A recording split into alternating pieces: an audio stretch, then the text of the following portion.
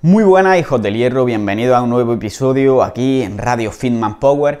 Hoy no es martes y, no estoy subiendo la típica entrevista de siempre, sino que quería aportar una entrevista que me hicieron a mí, que me la hizo Víctor Bravo desde MediFitness y que tiene ya subido en su podcast, que os recomiendo seguir a todos porque la verdad que se está metiendo un buen curro, es muy parecido a lo que hago yo y seguro que os va a gustar. Y en esta entrevista hablamos un poco sobre mi historia, que ya sabéis que me enrollo bastante, y por otra parte también hablamos sobre eh, cómo cambiar de hábitos, dando algunos consejos prácticos, analizando un poco cómo se forman los hábitos y cómo dejar hábitos malos, etc. Creo que es una entrevista muy práctica y que tiene consejos que pueden ser bastante útiles, así que ya sabéis, a escucharla. Pero antes quiero hacer un llamamiento a nuestros patrocinadores, que por una parte tenemos a Mana Food, que tenéis un 10% de descuento si utilizáis el código FITMAN, todo en mayúsculas, y lo que hacen es que te preparan la comida y te la traen a casa en tapes para que solo tengas que meterla en el microondas y te ahorras limpiar, te ahorras eh, cocinar y te ahorras tenés que ir a hacer la compra. Es decir, te ahorras mucho tiempo. Así que código FITMAN, 10% de descuento. Y por otra parte, tenemos AudioFit, que te permite aprender mediante audio sobre nutrición fitness, etcétera. Y tenéis un mes gratis en la aplicación si utilizáis para el acceso el código, bueno, mejor dicho, el enlace que voy a dejar en la descripción. Así que no me enrollo más y vamos con la entrevista.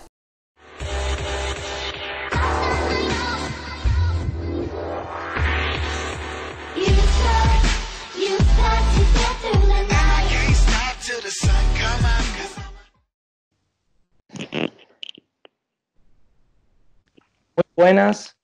Estoy aquí hoy con Carlos. ¿Qué tal estás, tío? Muy buenas, Víctor. ¿Qué tal? Pues hoy he traído a Carlos para hablar precisamente de un tema en el cual yo le considero a él de los que más pueden aportar, porque Carlos es especialmente bueno en saber simplificar pasos intermedios para lograr acciones más grandes en el futuro.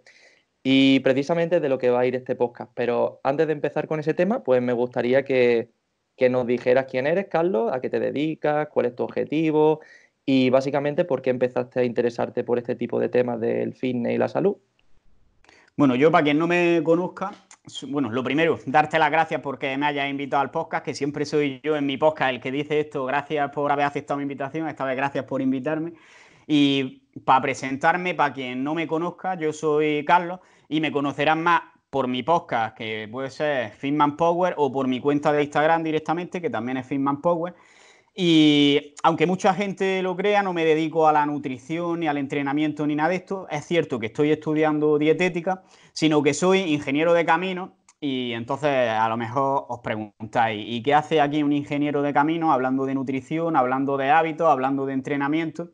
Entonces voy a contar la versión resumida de mi historia, que es que la verdad es que yo desde pequeño había hecho ejercicio, había hecho deporte, siempre había tenido un cuerpo más o menos definido y yo me veía como que de mayor iba a ser el típico chulito con abdominales y, entonces eh, yo daba por hecho que con el estilo de vida que yo tenía, que comía muy mal, pero hacía mucho ejercicio, iba a conseguir ese objetivo. Sin embargo, ya se sabe que no siempre mantenemos el estilo de vida que tenemos de chicos sino que tuve el cambio de metabolismo. Cambio de metabolismo, véase eh, pasar de estar todo el día jugando a fútbol a estar todo el día en el sofá tocando la guitarra y comiendo hamburguesas. Eso es el cambio de metabolismo, básicamente. Entonces, me pasó que tuve una pareja, empecé a tocar la guitarra, dejé de jugar al fútbol y cuando me vine a dar cuenta, mi madre me había comprado un traje para una graduación, creo que era, de la ESO o de bachiller incluso ya y me la compró y al mes siguiente de comprarme el traje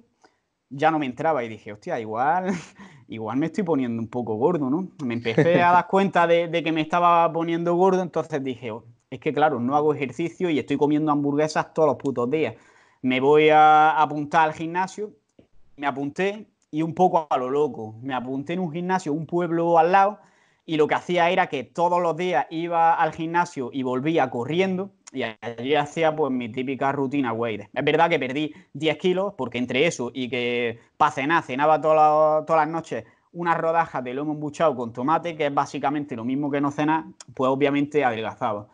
Eh, ¿Qué pasa? Que me quedé en los huesos. Luego ya decidí que quería hacer lo típico de ganar un poco de masa muscular y empecé a comer un poco más, pero comía mal. Es decir, las típicas barritas de azúcar con avena del Mercadona.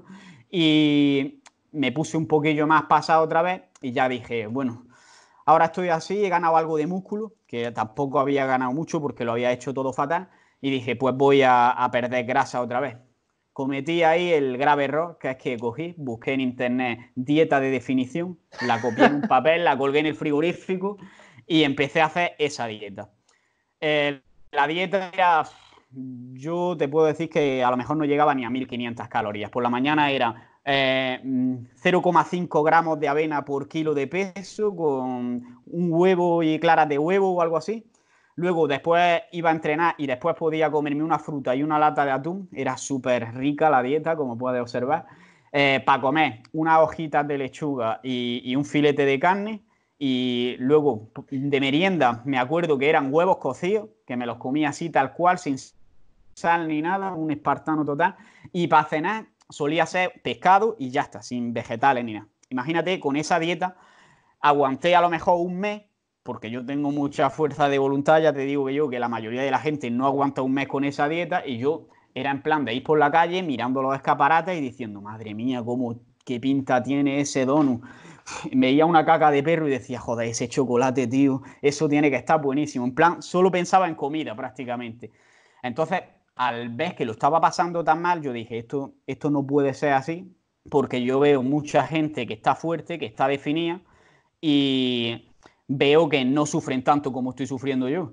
Entonces ya en ese momento dije, pues vamos a investigar un poco, vamos a estudiar y sin darme cuenta, pues me puse a estudiar mucho sobre nutrición y entrenamiento. Me di, no me estaba dando yo cuenta, pero me estaba gustando mucho y así fue como me convertí en un friki, ya empecé a hacer las cosas bien, descubrí que se podía comer de todo con cierta moderación y, conseguí cambios, eh, descubrí el entrenamiento de fuerza y ya empecé a, digamos, avanzar. Y así llegamos hasta que creé mi canal y mi podcast, que simplemente al principio era como un medio de aprendizaje y sigue siéndolo porque al final cuando tú tienes que enseñar algo a alguien es una manera de aprender tú pero ahora ya pues algo bastante más profesional y la verdad es que me gustaría poder dedicarme mucho más a ello, pero ahora mismo me estoy, estoy trabajando como ingeniero de camino y esto es, digamos, lo secundario, aunque poco a poco va, va cogiendo más peso, la verdad. ¿Y hace cuánto que hace cuánto que empezaste, digamos, a interesarte por estos temas, más o menos? ¿Te refieres? A ver, empecé a entrenar, entrenar, puedo llevar entrenando ya 10 años o 9 pero es verdad que a lo mejor los tres o cuatro primeros años no, no investigaba tanto. Entonces yo creo que fue en 2013, 2014 cuando empecé, digamos, a, investigar un poco. Al principio menos serio y investigando más serio, digamos, llevo cuatro años a lo mejor de decir, hostia, eh, soy un puto friki. El caso es que llevas tiempo. Yo empecé en, esto a interesarme, en fricarme en 2018, por ahí más o menos. Ah, pero antes yo iba como tú, yo antes iba al gimnasio, estaba fuerte porque por al final siempre sabe que entra al gimnasio, empieza a hacer pesas, pues se pone fuerte, siempre haciendo lo mismo, pero luego ya llega un punto que llega un tiempo haciendo siempre lo mismo, mismo estímulo, pues te estanca. Y luego ya, pues cuando te estanca, dices, bueno, aquí habrá que mejorar algo, ya pues empieza a enfricarte a Power Explosive y dice, Buah, es que yo podría explicar estas cosas y ah, está, está curioso porque siempre tenemos puntos en común. Así que bueno, después de esta pedazo de introducción, ya no sabemos toda la vida de Carlos. Eh, ¿Por qué nos cuesta tanto cambiar de hábitos, Carlos? A ver, el tema de los hábitos es un tema complejo porque al final va a depender un poco de, de cada persona y cada persona va a tener una relación con su su hábito dependiendo de su pasado y de su experiencia y la vida que haya tenido. Pero lo que es importante es entender cuál es la función de un hábito. Seguro que a todo el mundo nos ha pasado que sales de tu casa para ir al trabajo o para ir a otro sitio, pero tú estás acostumbrado a ir todos los días al trabajo y vas pensando en otra cosa, escuchando un podcast de, de Medifitness y sin darte cuenta acabas echándote por el camino que vas todos los días al trabajo simplemente porque tienes esa conexión mental y lo haces sin ningún esfuerzo. Es decir, lo que has hecho en realidad es ahorrar energía porque no has tenido que pensar el camino. Entonces hay que pensar, en primer lugar, esto, que lo que nos hace que sea difícil cambiar de hábito es que requieren más energía, porque como su función es ahorrar energía, porque son cosas que hacemos de manera automática y sin pensar, cuando tenemos que hacer otra cosa, ya sí tenemos que pensarla y vamos a tener que hacerlo de una forma más consciente, que al final nos va a dejar más cansados a lo largo del día. Si queremos cambiar muchos hábitos de golpe, vamos a acabar bastante más cansados que si, por ejemplo, cambiamos uno o que si dejamos los mismos hábitos que tenemos. Luego, otro punto importante es que ya tenemos otros hábitos de toda la vida que no hemos elegido nosotros. Por ejemplo, yo cuando era pequeño, eh, normalmente me comía un huevo Kinder después de comer y es muy difícil quitar el hábito de dejar de tener ganas de comerse algo dulce después de comer. Puedes cambiarlo, pero lo primero es eliminar esos hábitos malos que tenemos de antes y cambiarlos por otros. Luego veremos que los hábitos tienen como diferentes fases, que se produce un estímulo al que le damos una respuesta. Entonces, ante el mismo estímulo, podemos dar una respuesta diferente e ir mejorándola, pero que tienen que cumplir esa respuesta a la misma función, si no, no sirve de nada.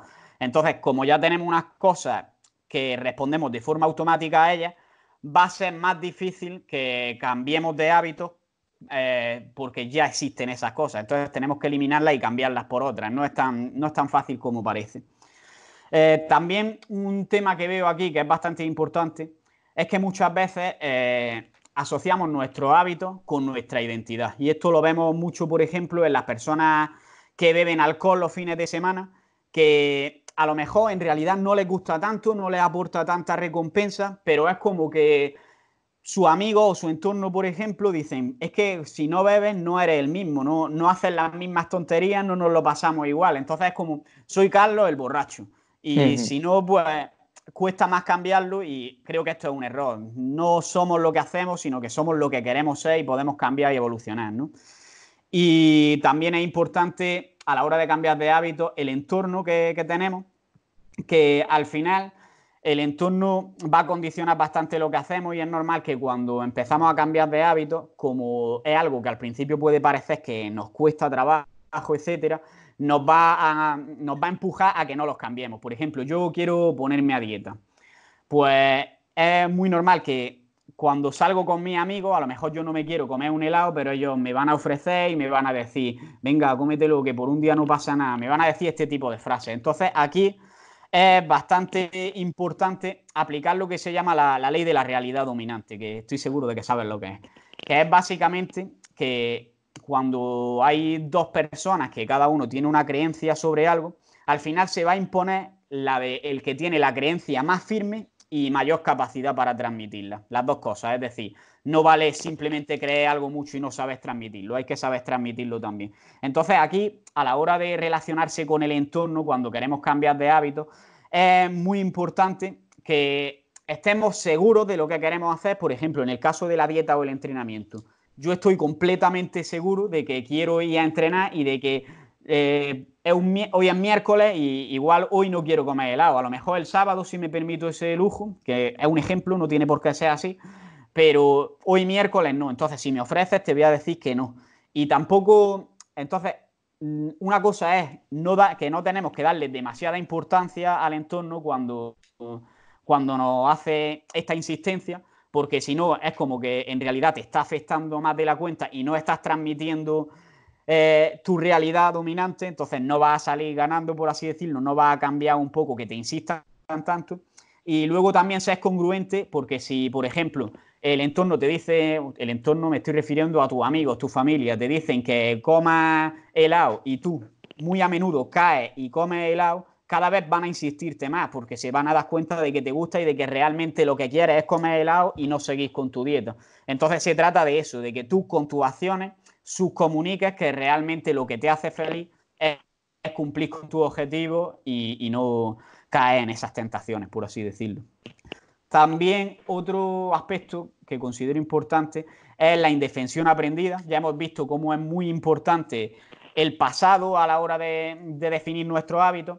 Y el tema de la indefensión aprendida se puede explicar muy bien con el ejemplo del elefante, que es básicamente que si a un elefante cuando es pequeño lo atan a un poste, cuando es un cachorro, pues es muy normal que no, al estar atado a un poste no pueda escaparse. Entonces, de, pequeño ha aprendido que no puede escaparse del poste porque está atado. Sin embargo, cuando crece, deja de intentarlo porque ya de pequeño ha asumido que no es capaz de, de conseguirlo. Y esto también lo podemos ver mucho en relación a los hábitos y mucha gente que ha empezado desde pequeña a comer mal o que no hace ejercicio, dice, es que yo no estoy hecho para eso y es como que han asumido que no son capaces de, llevar a cabo ciertas acciones cuando realmente sí que son capaces y, tienen una dependencia y un control total en su vida, pero no son capaces de, de asumirlo porque piensan por lo que han hecho en el pasado que no van a ser capaces. Me repetí un poquillo, pero...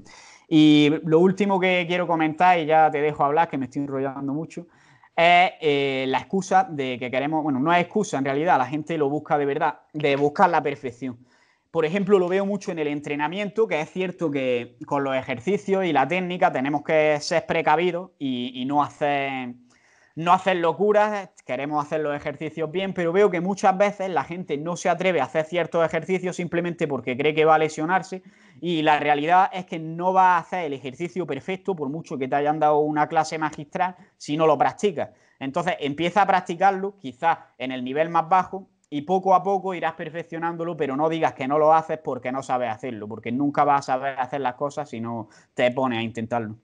Claro, nadie, nadie nace sabiendo, al fin y al cabo, las cosas Luego iremos profundizando en esto, pero claro, al final siempre tenemos que seguir una serie de pasos intermedios antes de llegar al objetivo final. Por ejemplo, yo quiero hacer un clean and jerk, por ejemplo, y uno no va a saber, no va a nacer sabiendo hacer un clean and jerk. Primero tiene que empezar a coger la barra, luego tiene que saber adoptar la posición de rack, luego hacer push press, etcétera, y al final, pues así para establecer la analogía para cómo se va adquiriendo un hábito. Por ejemplo, andar y respirar, todo lo que tú has dicho, andar y respirar, todo lo podemos hacer porque no cuesta ningún esfuerzo, porque digamos que nuestro cerebro tiene un sistema que mecaniza todas esas acciones, lo que tú has hablado antes. Todos nuestros hábitos que ya tenemos mecanizados están ya incorporados en, nuestro, en una, una parte de nuestro cerebro, no me acuerdo si eran los ganglios basales o por ahí, lo tenía, es donde teníamos la residencia de las conductas automáticas y por eso lo que tú has dicho, ahorrar energía. Cuando queremos aprender un hábito nuevo o nos convencemos de que tenemos que cambiar, necesitamos cambiar al final un patrón neuronal y eso requiere energía.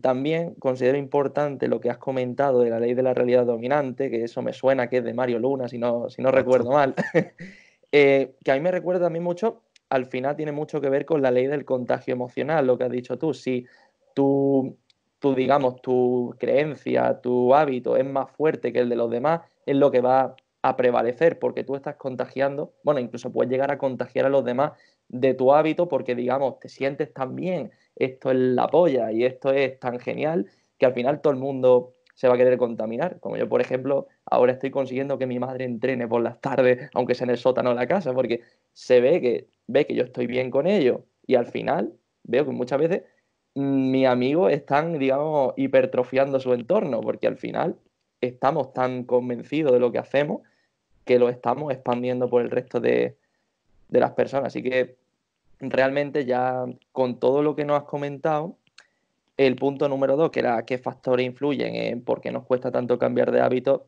ya, ya lo hemos dejado bastante claro con esto. Y ahora vamos a pasar a una parte más práctica que serían pues la idea, estrategia, esto que podríamos incorporar para adoptar un hábito. Pero antes, me gustaría, Carlos, que nos definieras qué es un buen hábito. Vale, eso, eso te lo quería preguntar yo y en realidad un buen hábito creo que no podemos definirlo de una manera general, sino que va a depender mucho de la persona que lo realice. Es decir, yo creo que un buen hábito es yo veo los hábitos como si fueran, por así decirlo, vehículos de transporte. Es decir, tú te subes a un autobús y te lleva al sitio que quieres ir, si te has subido al autobús correcto. Pues un hábito es más o menos lo mismo. Si tú coges un hábito, al final, como acabas haciéndolo automáticamente, a largo plazo, te va a llevar a ser la persona que quieres ser. Entonces, un buen hábito podríamos decir que es el que te hace parecerte a la persona que tú quieres ser, que normalmente es diferente a la que somos actualmente porque siempre tenemos algo que mejorar y si algo tiene el ser humano es que siempre tiene ganas de, mejorar algo. Y básicamente, ¿cuáles serían las fases que tú crees que son más importantes para incorporar un hábito nuevo a nuestra vida una vez que hemos pensado que, por ejemplo, yo no hago nada de ejercicio, me he puesto gordo y ahora, pues, venga, quiero ponerme, quiero ponerme en forma. Y claro, ¿qué, ¿cuáles serían esas fases? Porque, claro, tú puedes decirle a una persona, venga, pues haz ejercicio. Y eso no es una cosa específica al fin y al cabo, porque hacer ejercicio puede ser irme al gimnasio, hacerme gimnasio, eh, hacer ejercicio puede ser irme a a la montaña, o puede ser ponerme a montar la bici estática. ¿Qué nos dirías? ¿Qué fases son las que tendríamos que dividir? A ver, mm, yo diría, en primer lugar, lo primero que tendríamos que hacer a la hora de cambiar de hábito es, eh, digamos, hacer un tracking de lo que estamos haciendo actualmente. Y, por ejemplo, yo cojo, me levanto a las 7 de la mañana, eh, me hago un café, me visto y me voy a trabajar. En el trabajo hago esto, esto y esto. Pues, digamos, haces como un tracking de todo lo que haces a lo largo del día y decir, esto me acerca o me aleja de lo, que, de lo que quiero ser en el futuro, lo que estoy diciendo, si es un buen hábito o un mal hábito. Y los malos, los que consideremos que no nos acercan a, lo que queremos ser o que se pueden mejorar, pues vamos a marcarlo y vamos a decir, vale, estos son los que quiero cambiar.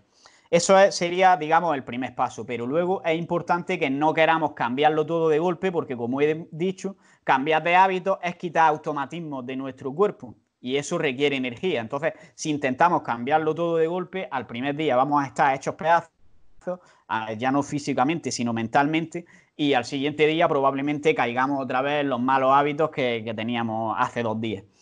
Eh, entonces, es importante coger los hábitos de uno en uno o de dos en dos y ir cambiándolos poco a poco. Vamos a ir mejorando un pequeño porcentaje cada día. Y luego también a la hora de lo que he comentado, de decir, este hábito es bueno, este no. Muchas veces va a ser útil el hecho de modelar a una persona a la que queremos parecernos. El problema que veo aquí es que siempre vamos a querer parecernos al mejor. Es decir, yo quiero ser el mejor futbolista, pues voy a hacer el entrenamiento de Messi. Y hay que entender que, por una parte, tú no estás ahora mismo al nivel de Messi, entonces no vas a hacer el mismo entrenamiento que él. Y por otra parte, también que el que ahora mismo es el mejor, probablemente no es el que mejor está haciendo las cosas. Entonces, no necesariamente te va a potenciar imitar a una persona que, está siendo la mejor ahora. Por ejemplo, en el caso de Messi o del Barcelona, por decir algo, yo no soy del Barcelona, pero vamos a suponer que está en la final de Champions y tú dices, hostia, pues como está en la final de Champions, se supone que es el mejor. Quizá no, quizá es el que ha entrenado mejor durante el año pasado y, y ha hecho las cosas mejor durante la temporada para llegar ahí, pero a lo mejor en este momento preciso lo está haciendo mejor el Real Madrid o el Atlético de Madrid, por decirte algo, y el año que viene van a estar ellos en la final de la Copa. No sé si me he explicado bien en ese punto. Sí, sí, sí, que básicamente eh, es como cuando sucede que, por ejemplo, el Atlético, eh, a mí me gusta bastante el Atlético porque es un equipo que le echa dos cojones a la cosa, pero objetivamente es un equipo peor pero alcanza, alcanzó en su momento dos finales de Champions. Eso quiere decir que, aunque no sea el mejor, puede llegar a la final, pero objetivamente hay equipos que son mejores que tú y a lo mejor de cada 100 veces que juegues con ellos te ganan 99. Pero tú le has ganado esa vez, que al final es cuestión de probabilidades. Sí, sí, eso es. Sí. Bueno, eso y que, y que a la hora de tener hábitos, el que ya ha tenido éxito es muy probable que se haya relajado con respecto a los que todavía no lo tienen y lo van a tener en el futuro. Entonces, fijarte siempre en el que ya tiene éxito, por ejemplo, si tú te fijas ahora mismo en un podcaster que ya está triunfando y va a su podcast rodado y va solo, probablemente haga las mismas cosas que él, pero él no está haciendo todo lo que podría hacer. Sin embargo, alguien que está con muchísima ilusión empezando, es probable que sí esté haciendo muchísimas más cosas para que el podcast vaya para adelante. ¿Sabes lo que te digo, no? Claro, claro. Y bueno, ya continuando con la analogía de, del fútbol, por eso, por ejemplo, fue súper sorprendente que el Madrid ganara dos o tres Champions seguidas, porque lo fue el mejor en su momento y lo siguió siendo los años siguientes. Por eso eh, me parece curiosa esa, esa analogía. Entonces, eh, profundizando ya en el tema de, de los hábitos como tal, también diría que hay un problema, lo que hemos comentado antes, que muchas veces la gente no, es consciente muchas veces de lo que está haciendo mal. Al fin y al cabo, esto también es cuestión de un tema de, información, la información a la, que, a la que nos exponemos. Por ejemplo, por decir cosas de, de mi TFG que tiene mucho que ver con esto. Mi TFG va sobre factores de riesgo socioeconómico y diabetes tipo 2. realmente sabemos que la diabetes tipo 2 es una enfermedad que se influencia por una mala alimentación y la falta de ejercicio, ¿vale? Pero realmente muchísimas personas saben que se están alimentando mal o que alimentos más o menos son los que no son sanos, los cuales sí lo son, saben qué ejercicios más o menos tienen que hacer. Bueno, más o menos ahí tenemos un barullo de cosas que podemos tener en cuenta. Pero es que hay más. La información a la que nos exponemos es súper clave. Tan clave que, por ejemplo, un nivel educativo más, mm, más, más malo te condiciona que tú no sepas seleccionar al final los alimentos y al final no sepas seleccionar qué hábitos te están llevando a un sitio y te están llevando a otro. Lo que tú decías de que los hábitos son trenes que al fin y al cabo te, van a llevar a un sitio o te van a llevar a otro. Y entre una serie de, estrategias que, que, tú has puesto aquí muy bien, está el hacer visible, hacer visible un hábito. Como por ejemplo, cuando por ejemplo quiere ir a entrenar al gimnasio y lo publica en Instagram. Venga, voy a publicarlo en Instagram y eso va a hacer que me motive más porque me van a dar, me van a dar ánimo, etcétera. ¿Qué podrías comentarnos sobre eso? A ver, eso más bien iría, voy a, voy a empezar por fases, voy a explicar, explicar un poco cómo se forman los hábitos, porque eso más bien sería lo que tú has dicho, la recompensa al hábito. Es decir, yo voy a entrenar y la gente me ha visto que entreno, me felicitan y es como que recibo ese feedback y y eso va a reforzar que siga haciéndolo porque me está dando cierto éxito. Eso lo vemos mucho, por ejemplo, en los que compiten en fitness. Pero lo importante es ver cómo esto lo he sacado del libro de Atomic Habits, que lo recomiendo, y que básicamente divide los hábitos como en cuatro fases. La primera fase sería que todos los hábitos tienen un, desencadenante, que por ejemplo, vamos a suponerlo con un mal hábito, con comer tarta. Eh, oler o ver la tarta podría ser el desencadenante, porque tú hueles la tarta y ya dices, hostia, quiero tarta. Luego, después del desencadenante, tendría el anhelo, que si seguimos con el ejemplo de, la comida, en este caso el anhelo sería eh, que tú buscas mm, placer, buscas un sabor concreto y, y, entonces cuando hueles la tarta vas a buscar eso, pero en otros casos puede ser algo diferente. Por ejemplo, yo siempre he dicho que a veces existen problemas de que cuando estamos estudiando, por pereza, cuando hacemos un descanso, antes de empezar, a mí por lo menos me pasaba cuando estudiaba, yo cogía y decía, venga, en cinco minutos me pongo a estudiar. Pasaban los cinco minutos y decía, pero antes voy a comer chocolate. Y en realidad no era porque tuviera hambre, no era porque tuviera ganas de chocolate, era simplemente por pereza y por postergar un poco más, claro. Entonces, hay que entender eso. ¿Cuál es el anhelo ahí? Procrastinar, es no hacer nada, es no gastar energía. Entonces, hay que entender ese anhelo para que cuando cambiemos el hábito, busquemos otra cosa que nos sepa eh, satisfacer esa necesidad, por así decirlo. Eh, luego también tenemos que hemos tenido un estímulo y algo que necesitamos a raíz de ese estímulo. El estímulo nos ha recordado que tenemos un anhelo. Entonces, el tercer paso sería la respuesta que ya hemos visto que puedes cambiar la respuesta. En este caso, podíamos comer chocolate, pero igualmente podía haber leído durante cinco minutos más o haber estado en el sofá durante cinco minutos más. Lo que pasa es que al no ser acción, pues algo más complicado. Y el cuarto paso mm, sería una recompensa. En este caso sí que sería el buen sabor que ha tenido el chocolate, por ejemplo, o que has tenido los cinco minutos más de descanso. Entonces, Recapitulando, tendríamos entonces cuatro pasos. Un desencadenante, que es un estímulo que te recuerda que, haga algo. Luego tendríamos un anhelo, que es la necesidad a la que te recuerda ese desencadenante. Una respuesta, que es lo que haces, y luego obtienes una recompensa que refuerza el hábito para que eh, la próxima vez vuelva a hacerlo igual. Entonces, entendiendo esto, ¿qué tendríamos que hacer para crear un nuevo hábito? Pues primero hacer, hacerlo visible el estímulo. Es decir, que por ejemplo, si, si quieres cambiar o, hacerlo visible o si queremos eliminar algo, hacerlo invisible, quiero decir. Entonces, si por ejemplo lo que queremos hacer es dejar de comer tarta y cambiarlo por comer fruta, pues igual es buena idea que en vez de tener eh, un bol con dulces en, en, el escritorio, pues que tengas un bol con fruta o que directamente no tengas nada, porque de esta forma estás haciendo que el estímulo de la tarta sea menos visible y sea más visible el de algo saludable como puede ser la fruta. Luego también, en el segundo paso, que sea atractivo, tenemos que intentar hacer que, que, sea eso, más atractivo el hábito. Es decir, que a lo mejor tengamos algún aliciente para hacerlo, por ejemplo, que la comida esté más rica aunque sea saludable, que entrenemos con otra gente porque así nos acompaña, etcétera. Luego, luego daré algunas ideas concretas de cada paso, pero la idea es que tiene que ser más visible el nuevo hábito, más atractivo si es un hábito que queremos incorporar y menos atractivo, hacerlo más feo si es un hábito que queremos eliminar. Por ejemplo, dejarnos eh, en el supermercado el chocolate porque así tenemos que ir a por él y eso obviamente es menos atractivo que tenerlo en el frigorífico. Eh, luego tenemos también que hacer que sea fácil, es decir, que de todas las opciones que tienes de respuesta, la más fácil sea la que tú quieres implementar. Eh, por ejemplo, lo que he dicho antes, si tienes la fruta pero no tienes el chocolate, pues vas a comer la fruta porque es mucho más fácil para ti y cumple el mismo, el mismo anhelo que cumplía el, chocolate.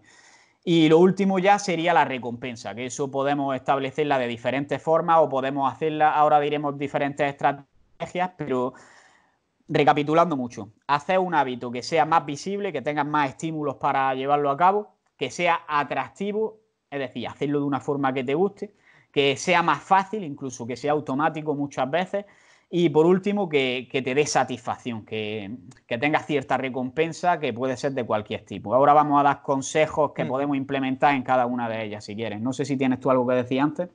Sí, básicamente que, bueno, también el hacerlo atractivo tiene mucho que ver con la zona de flujo, que supongo que ahora profundizaremos en ello, que tú también me preguntaste en tu podcast sobre ello, que era básicamente lo de equiparar nuestro, nuestra habilidad actual con, con el reto que supone la actividad. Es como, por ejemplo, lo que hablamos antes de, del entrenamiento de Messi. Si tú no tienes la habilidad de Messi, no tiene sentido que tenga el reto de, Messi. Y luego estará muy interesante profundizar en ello. Entonces, Carlos, ¿nos podría hablar de, esa serie de ideas que podríamos, que podríamos incorporar en cada fase de estas que hemos, que hemos hablado? Vale, vamos a empezar por, por la primera parte, que sería que si queremos implementar un nuevo hábito, lo hagamos más visible ese estímulo y si queremos eliminarlo, lo hagamos más invisible. Entonces, la primera idea que resulta obvia es modificar nuestro entorno o nuestra casa o lo que queramos. Es decir, en realidad está visto que olvidar un mal hábito es prácticamente imposible, pero sí que podemos alejarlo de nosotros. Entonces, por ejemplo, si quieres dejar de fumar, la mejor idea que puedes tener y lo que va a ser más efectivo es que no compres tabaco y no tengas tabaco en casa y que si es posible te vayas a vivir lejos del estanco más cercano. Eh, luego también en el caso, por ejemplo, de, de la comida, pues que directamente los ultraprocesados los dejes en el supermercado y no te los traigas. Esto ya lo hemos comentado todo, pero puede que a lo mejor vivas con tu familia y ellos sí quieran comer ultraprocesado y dices, hostia, ¿ahora qué hago yo? Es que esto, esto ya no lo puedo aplicar. Realmente sí que puedes. Lo que puedes hacer es ponerlo en las partes menos accesibles de, de las estanterías para que a lo mejor te tengas que subir a una silla cada vez que lo vayas a coger que por esta parte lo que está haciendo es tanto hacerlo menos visible como más difícil de caer en esa tentación, digamos. Entonces ya está, eh, está influyendo en dos partes, digamos, de, la cadena esta de los hábitos. Y otra cosa que puedes hacer es, por ejemplo, pues tener la ropa preparada del gimnasio el día anterior para que luego no te dé tanta pereza y que te recuerde que tienes que ir al gimnasio o directamente hacer invisible la tele, dejar invisible o más difícil, es que al final lo de facilitar los hábitos y hacerlo invisible está muy relacionado. Entonces, por ejemplo, si no quieres ver la tele, pues puede ser buena idea que en vez de apagarla con el mando, cojas y la desenchufes totalmente, porque así cuando vayas a querer verla, le va a dar al mando, va a ver que no se va a encender y puede que te dé pereza y no te levantes a, no te levantes a enchufarla. Vas a tener que levantarte a enchufarla. Otra cosa para darte algún estímulo que, te haga comprometerte con un hábito es hacer una cita, entre comillas, contigo mismo. Es decir, voy a hacer esto este día a esta hora o todos los martes a las 6 voy a hacer esto y ponerte una alarma o cualquier cosa. Eso ya lo está haciendo visible el hábito porque te va a saltar la alarma.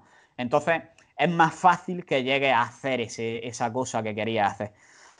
Eh, y en relación con esto, una estrategia que considero muy buena es la del empaquetamiento de hábitos, que al final consiste simplemente en coger un hábito bueno que ya tengas y que no quieras cambiar, por ejemplo, yo qué sé, eh, lavarte los dientes.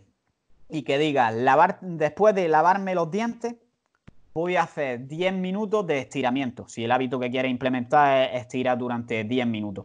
Entonces, eh, al final va a tener ese estímulo de lavarte los dientes que te va a recordar a la larga que tienes que hacer esos estiramientos después. Esas tres estrategias creo que son buenas para hacerlo, para hacerlo más, más visible el hábito y que, digamos, no se te olvide, entre comillas, hacerlo. Joder, ese ha estado guapo. Me recuerda el último, el de lavarme los dientes, porque, a ver, yo me lavo los dientes, eso no soy, no soy un guarro, pero.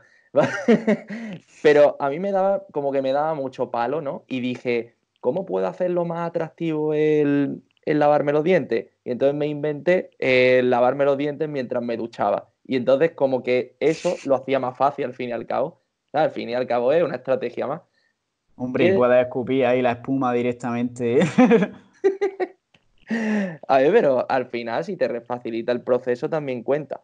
También quería hacer una mención a lo que tú hablaste antes de modificar el entorno, que por ejemplo dijiste con el tema ultraprocesado o tabaco, no lo compres porque así obviamente no lo va a tener visible y entonces va a tender a no consumirlo. Y por ejemplo, aquí pues me gustaría destacar que por ejemplo hay un par de fármacos que se dan en el tema de las adicciones, sobre todo en el alcoholismo. Uno se llama disulfiram y otro se llama, bueno, naltresona. Y se dan para, se echa en los alcohólicos, las personas que son alcohólicas, eh, se lo dan a la familia. El alcohólico no se puede enterar. Y esos fármacos se echan en la bebida para que los alcohólicos cuando la tengan en la casa, pues cuando se la beban, eso le provoca una reacción de tal manera que les disuade de beber. Es como que le da un efecto adverso, creo que era porque le afectaba el hígado o algo así, pero básicamente le da un chungazo que eso les disuadía de, tomar alcohol. Y me ha recordado eso porque al final es como modificar el entorno, pero de forma reactiva, que obviamente no recomiendo hacer esto, pero ese apunte me, me molaba porque parece o sea, es otra forma de hacerlo que no os recomiendo, pero bueno, para que la sepáis. Y lo último, eso que tú estás hablando, que al final nuestro cerebro reptiliano es un cerebro perezoso, que al final le interesa vagar siempre por los mismos caminos que, tenía, cuanto más fácil lo haga, mejor. Pues entonces al final lo que ha dicho Carlos es que pongamos nuestro cerebro reptiliano a trabajar para nosotros. Si tú quieres esconderte el chocolate, pues te lo pones en lo alto de la despensa, envuelto en papel albal para que no lo veas, y la fruta te la envuelve, por ejemplo, en papel de plástico. Entonces, cuando la fruta la vea, pues te la va a querer comer. Pero en cambio, el chocolate, como no lo tiene a la vista, pues entonces no te vas como a disuadir a ti mismo. Y al final, utilizar las estrategias para que muchas veces utilizamos para mal inconscientemente, pero hacerlo para cambiar de hábito. Me ha parecido muy especialmente curioso eso. Así que bueno, hemos hablado de hacerlo, de cómo hacerlo visible y ahora, ¿cómo haríamos atractivo nuestro hábito, Carlos? ¿Cómo, ¿Cuáles serían las pues estrategias para hacerlo atractivo? A ver, hablamos de hacerlo atractivo o de que si es un hábito que queremos abandonar, lo hagamos menos atractivo. Que, por ejemplo, lo que tú acabas de, comentar está en relación con eso. Y que, por ejemplo, me ha recordado a que muchas veces los niños, cuando son pequeños y se muerden las uñas, por ejemplo, o para que dejen el chupete, lo que se le hace es echarle una sustancia que da mal sabor. Y entonces, cuando siguen chupando el chupete o mordiéndose la uña, como sabe mal, dejan de hacerlo. Ah, y eso me lo echaba yo en la uña.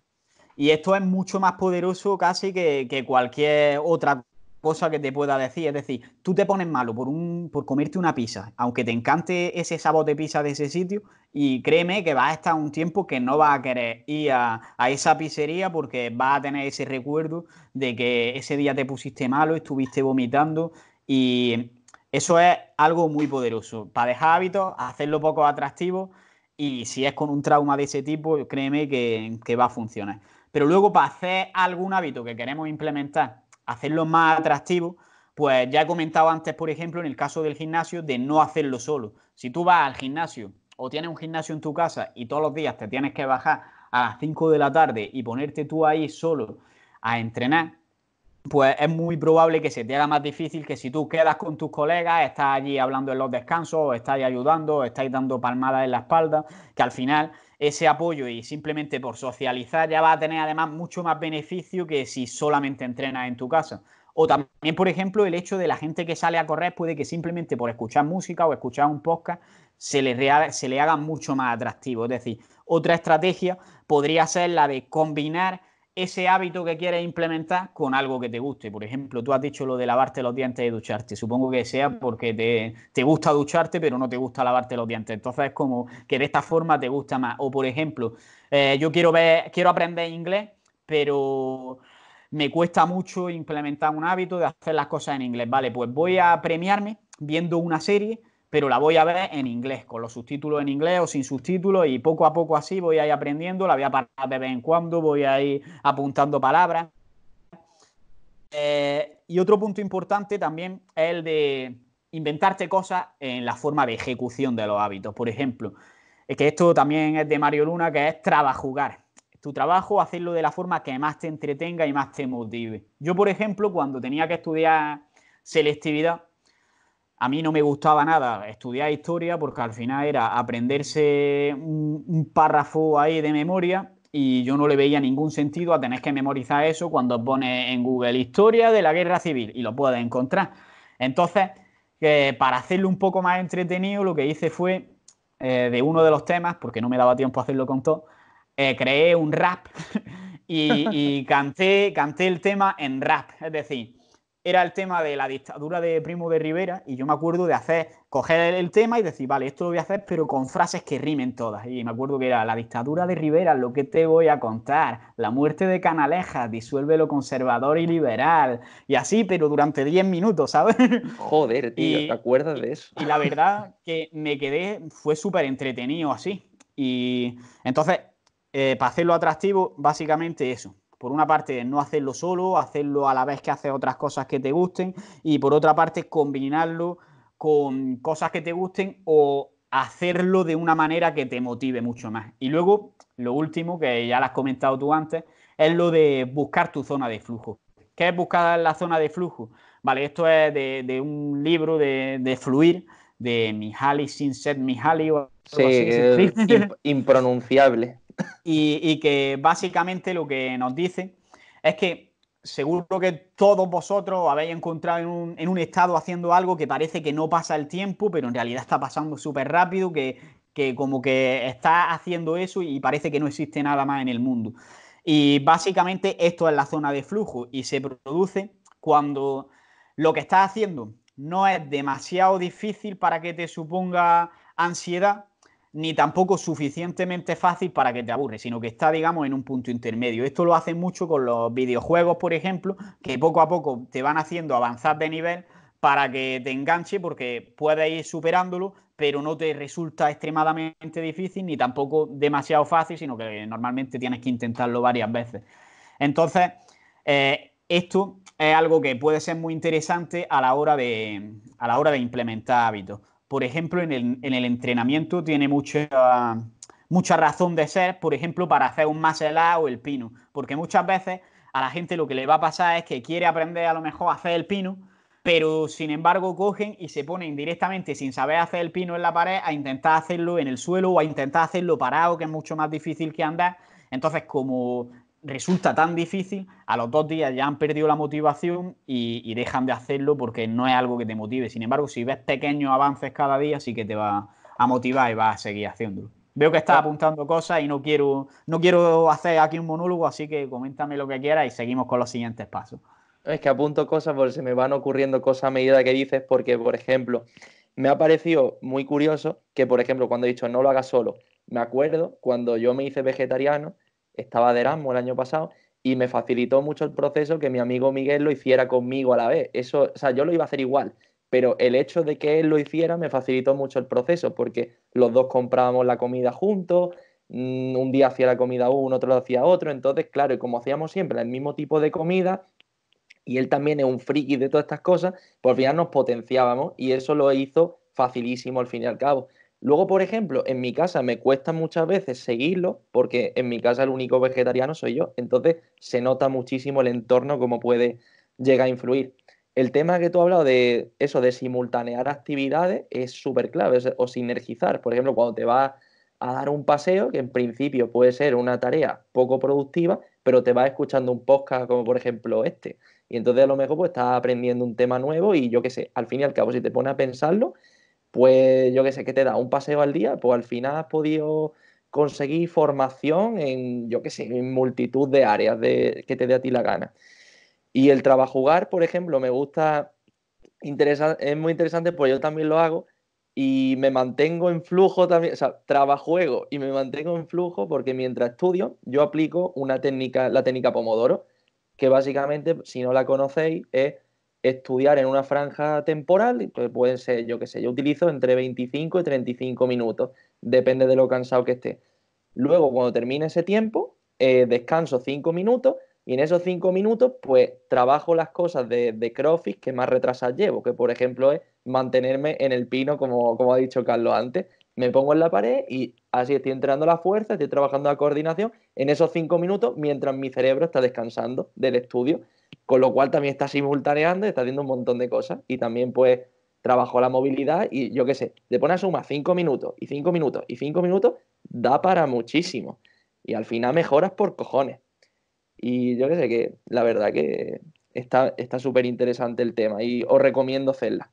Sobre todo porque vuestra productividad estudiando va, va a dispararse exponencialmente. Y claro, también podríamos hacer fácil o, o difícil los hábitos, al fin y al cabo, porque es lo que hablamos antes del flujo. Al final, podemos hacer que una cosa nos cueste más para que así nos motivemos, así como también podemos ponernos lo fácil. ¿Podrías profundizar en este tema un poco, Carlos? Sí, claro, lo que queremos hacer en esta fase es que la respuesta que vayamos a dar a ese estímulo del que ya hemos hablado eh, puede haber varias respuestas. Por ejemplo, a lo de la pereza, podríamos tener la respuesta de comernos una tableta de chocolate, podríamos tener la de comernos una manzana o podríamos tener directamente la de no comer o cualquier otra cosa, la de ponernos a estudiar directamente. Entonces, se trata de hacer que la respuesta que queremos conseguir sea la más fácil de todas. Y para esto hay diferentes estrategias. Y la primera que ahora con las aplicaciones del móvil y todo resulta muy fácil de implementar es la de automatizar las acciones. Es decir, por ejemplo, yo vamos a suponer que quiero ahorrar todos los meses 200 euros. Mucha gente lo que haría sería que coge y que cuando cobra directamente gasta para todo lo que necesite y lo que le sobre al final de mes se lo guarda e intenta que queden 200 euros más. Sin embargo, una persona que sea preactiva, que podemos hablar después si quieres de lo que es, eh, lo que haría sería al revés. El día que cobra, tiene ya programado en su banco una transferencia automática a otra cuenta que, vamos a llamar la cuenta de ahorro de esos 200 euros. Entonces ya sabe sí o sí que no se va a gastar porque se ha pagado, se ha pagado a sí mismo primero esos 200 euros. Esto es algo muy típico de los libros de Kiyosaki y todo eso de, economía, pero, que, pero que es muy, muy poderoso al final. Y luego también tenemos, por ejemplo, otro consejo ya más relacionado con el tema de la alimentación y esto, el de planificar la compra para toda la semana y eso lo tendrías que hacer una vez y comprar lo mismo todas las semanas. Y a lo mejor hacer eh, todos los lunes o que te llegue un recordatorio al móvil, por ejemplo, y te diga, venga, compra esto, esta es la lista. Y tienes que comprar lo mismo, las mismas cantidades y te va a dar para toda la semana. O con el entrenamiento, para no tener que tomar decisiones, tener ya un Excel con todos los pesos y todo lo que tienes que hacer puesto, porque al final, si tú llegas al entrenamiento sin saber qué hacer, por una parte vas a perder mucho tiempo decidiéndolo, como nos pasó cuando estuvimos entrenando CrossFit tú y yo, que nos tiramos ahí media hora para decidirlo, y por otra parte es que eh, te va a resultar más difícil porque ya estás necesitando energía para decidir lo que haces ese día. Entonces, tenlo planificado de antes y simplemente sigue la instrucción. Eh, otro consejo que para mí, es, para mí es de los mejores en realidad en este sentido es el de pensar en pequeño. Es decir, muchas veces queremos, por ejemplo, lo que hablábamos antes de hacer el pino o de aprender a hacer muscle up y decimos, vale, voy a entrenar todos los días dos horas a hacer el pino para que me salga, te pones cabezón. Sin embargo, si quieres hacer hábitos y piensas en hacer mucho de golpe, lo que vas a conseguir es que en tu subconsciente sea un hábito más difícil. Por ejemplo, quieres entrenar y dices, vale, ahora me voy dos horas al gimnasio. Eso para tu mente es un mundo. Sin embargo, si tú tienes la mentalidad, vale, mi objetivo va a ser entrenar cinco veces a la semana, pero como mínimo cinco minutos. Con que haya trabajado el cuerpo cinco minutos al día, ya me doy por satisfecho. ¿Qué va a pasar? Que a lo mejor para eso tienes que ir al gimnasio. Entonces, ya que estás allí, no van a acabar siendo cinco minutos, probablemente sea más. Eh, además, va a empezar a calentar, va a cambiar tu fisiología y esto va a hacer que ya una vez estés caliente te apetezca bastante más hacer el ejercicio y por simple inercia va a acabar entrenando más. Eh, y por ejemplo, que si un día por cualquier cosa no puedes más de 5 minutos, 5 minutos es mejor que nada. Así que blanco y bien botella. Esto va a ser positivo siempre. Es decir, todos los hábitos grandes que quieras, que quieras tener, conviértelos en hábitos pequeños y ya su versión reducida. Luego ya la demás va a llegar sola. Yo, por ejemplo, lo he hecho esto para aprender a hacer el pino, que decía, después de la clase de CrossFit, todos los días me voy a quedar aquí, por lo menos, por lo menos tengo que intentar una vez hacer el pino. ¿Qué pasaba? Que lo intentaba una vez, me picaba y a lo mejor me tiraba media hora haciendo el pino. Pues así en dos semanas pasé de no ser capaz de ponerme vertical porque me daba miedo a hacerme 10 metros andando. Entonces, yo creo que esto es muy, muy positivo y que dándole un poco al coco se puede aplicar en muchos temas. Por ejemplo, en vez de cambiar la dieta entera, vamos a cambiar solo el desayuno y poco a poco vamos a ir cambiando más cosas. empezar en pequeño y dando pequeños pasos, luego lo demás va a ir rodando solo.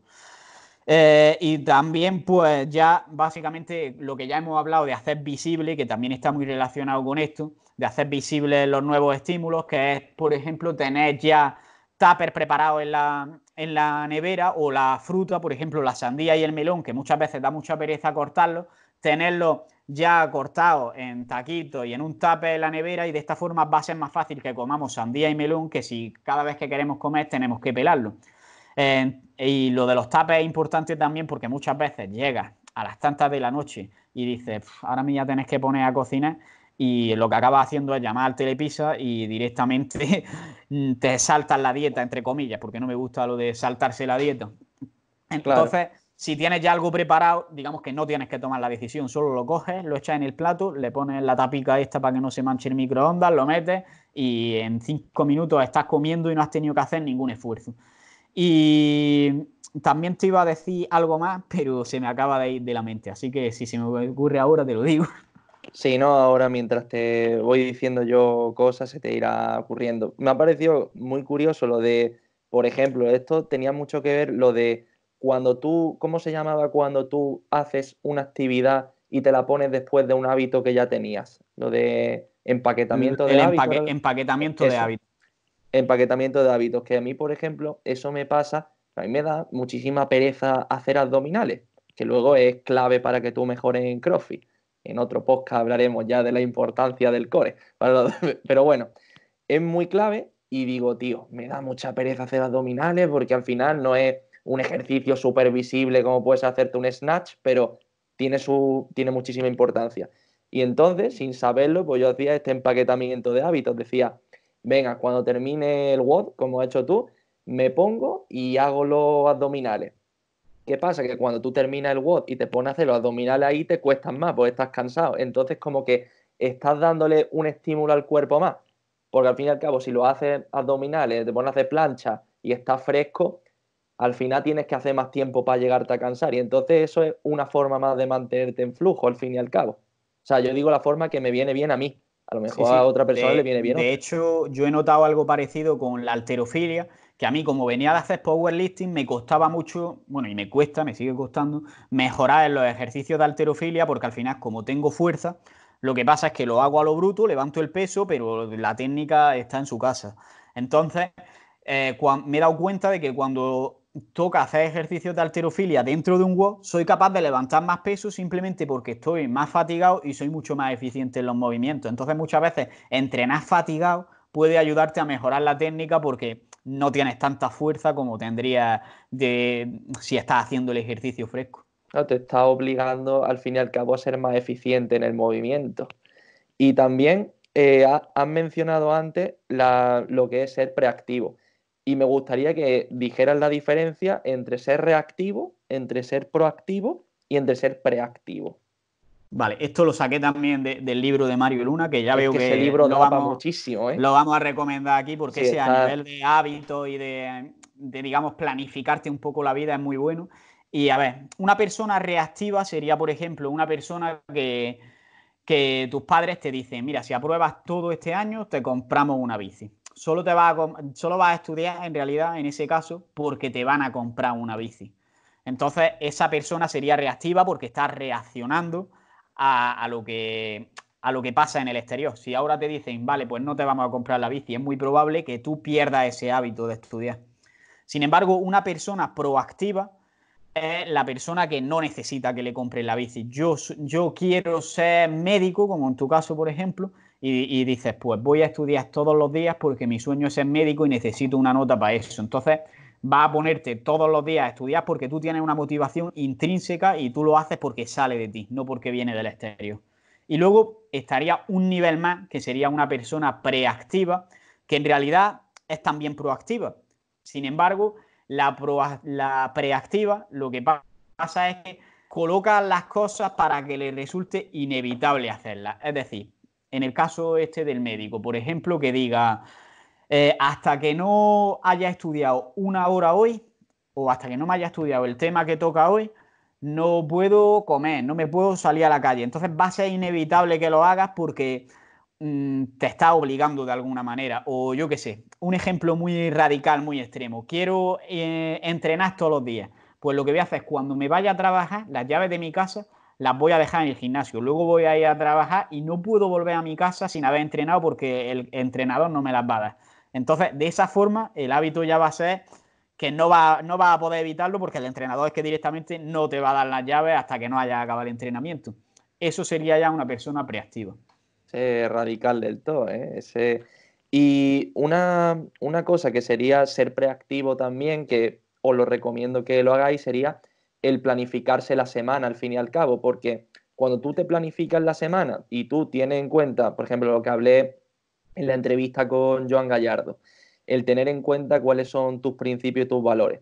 Al fin y al cabo, tú vas haciendo un repaso por tus principios y tus valores de la semana, que yo personalmente lo dije, utilizo la rueda de la vida.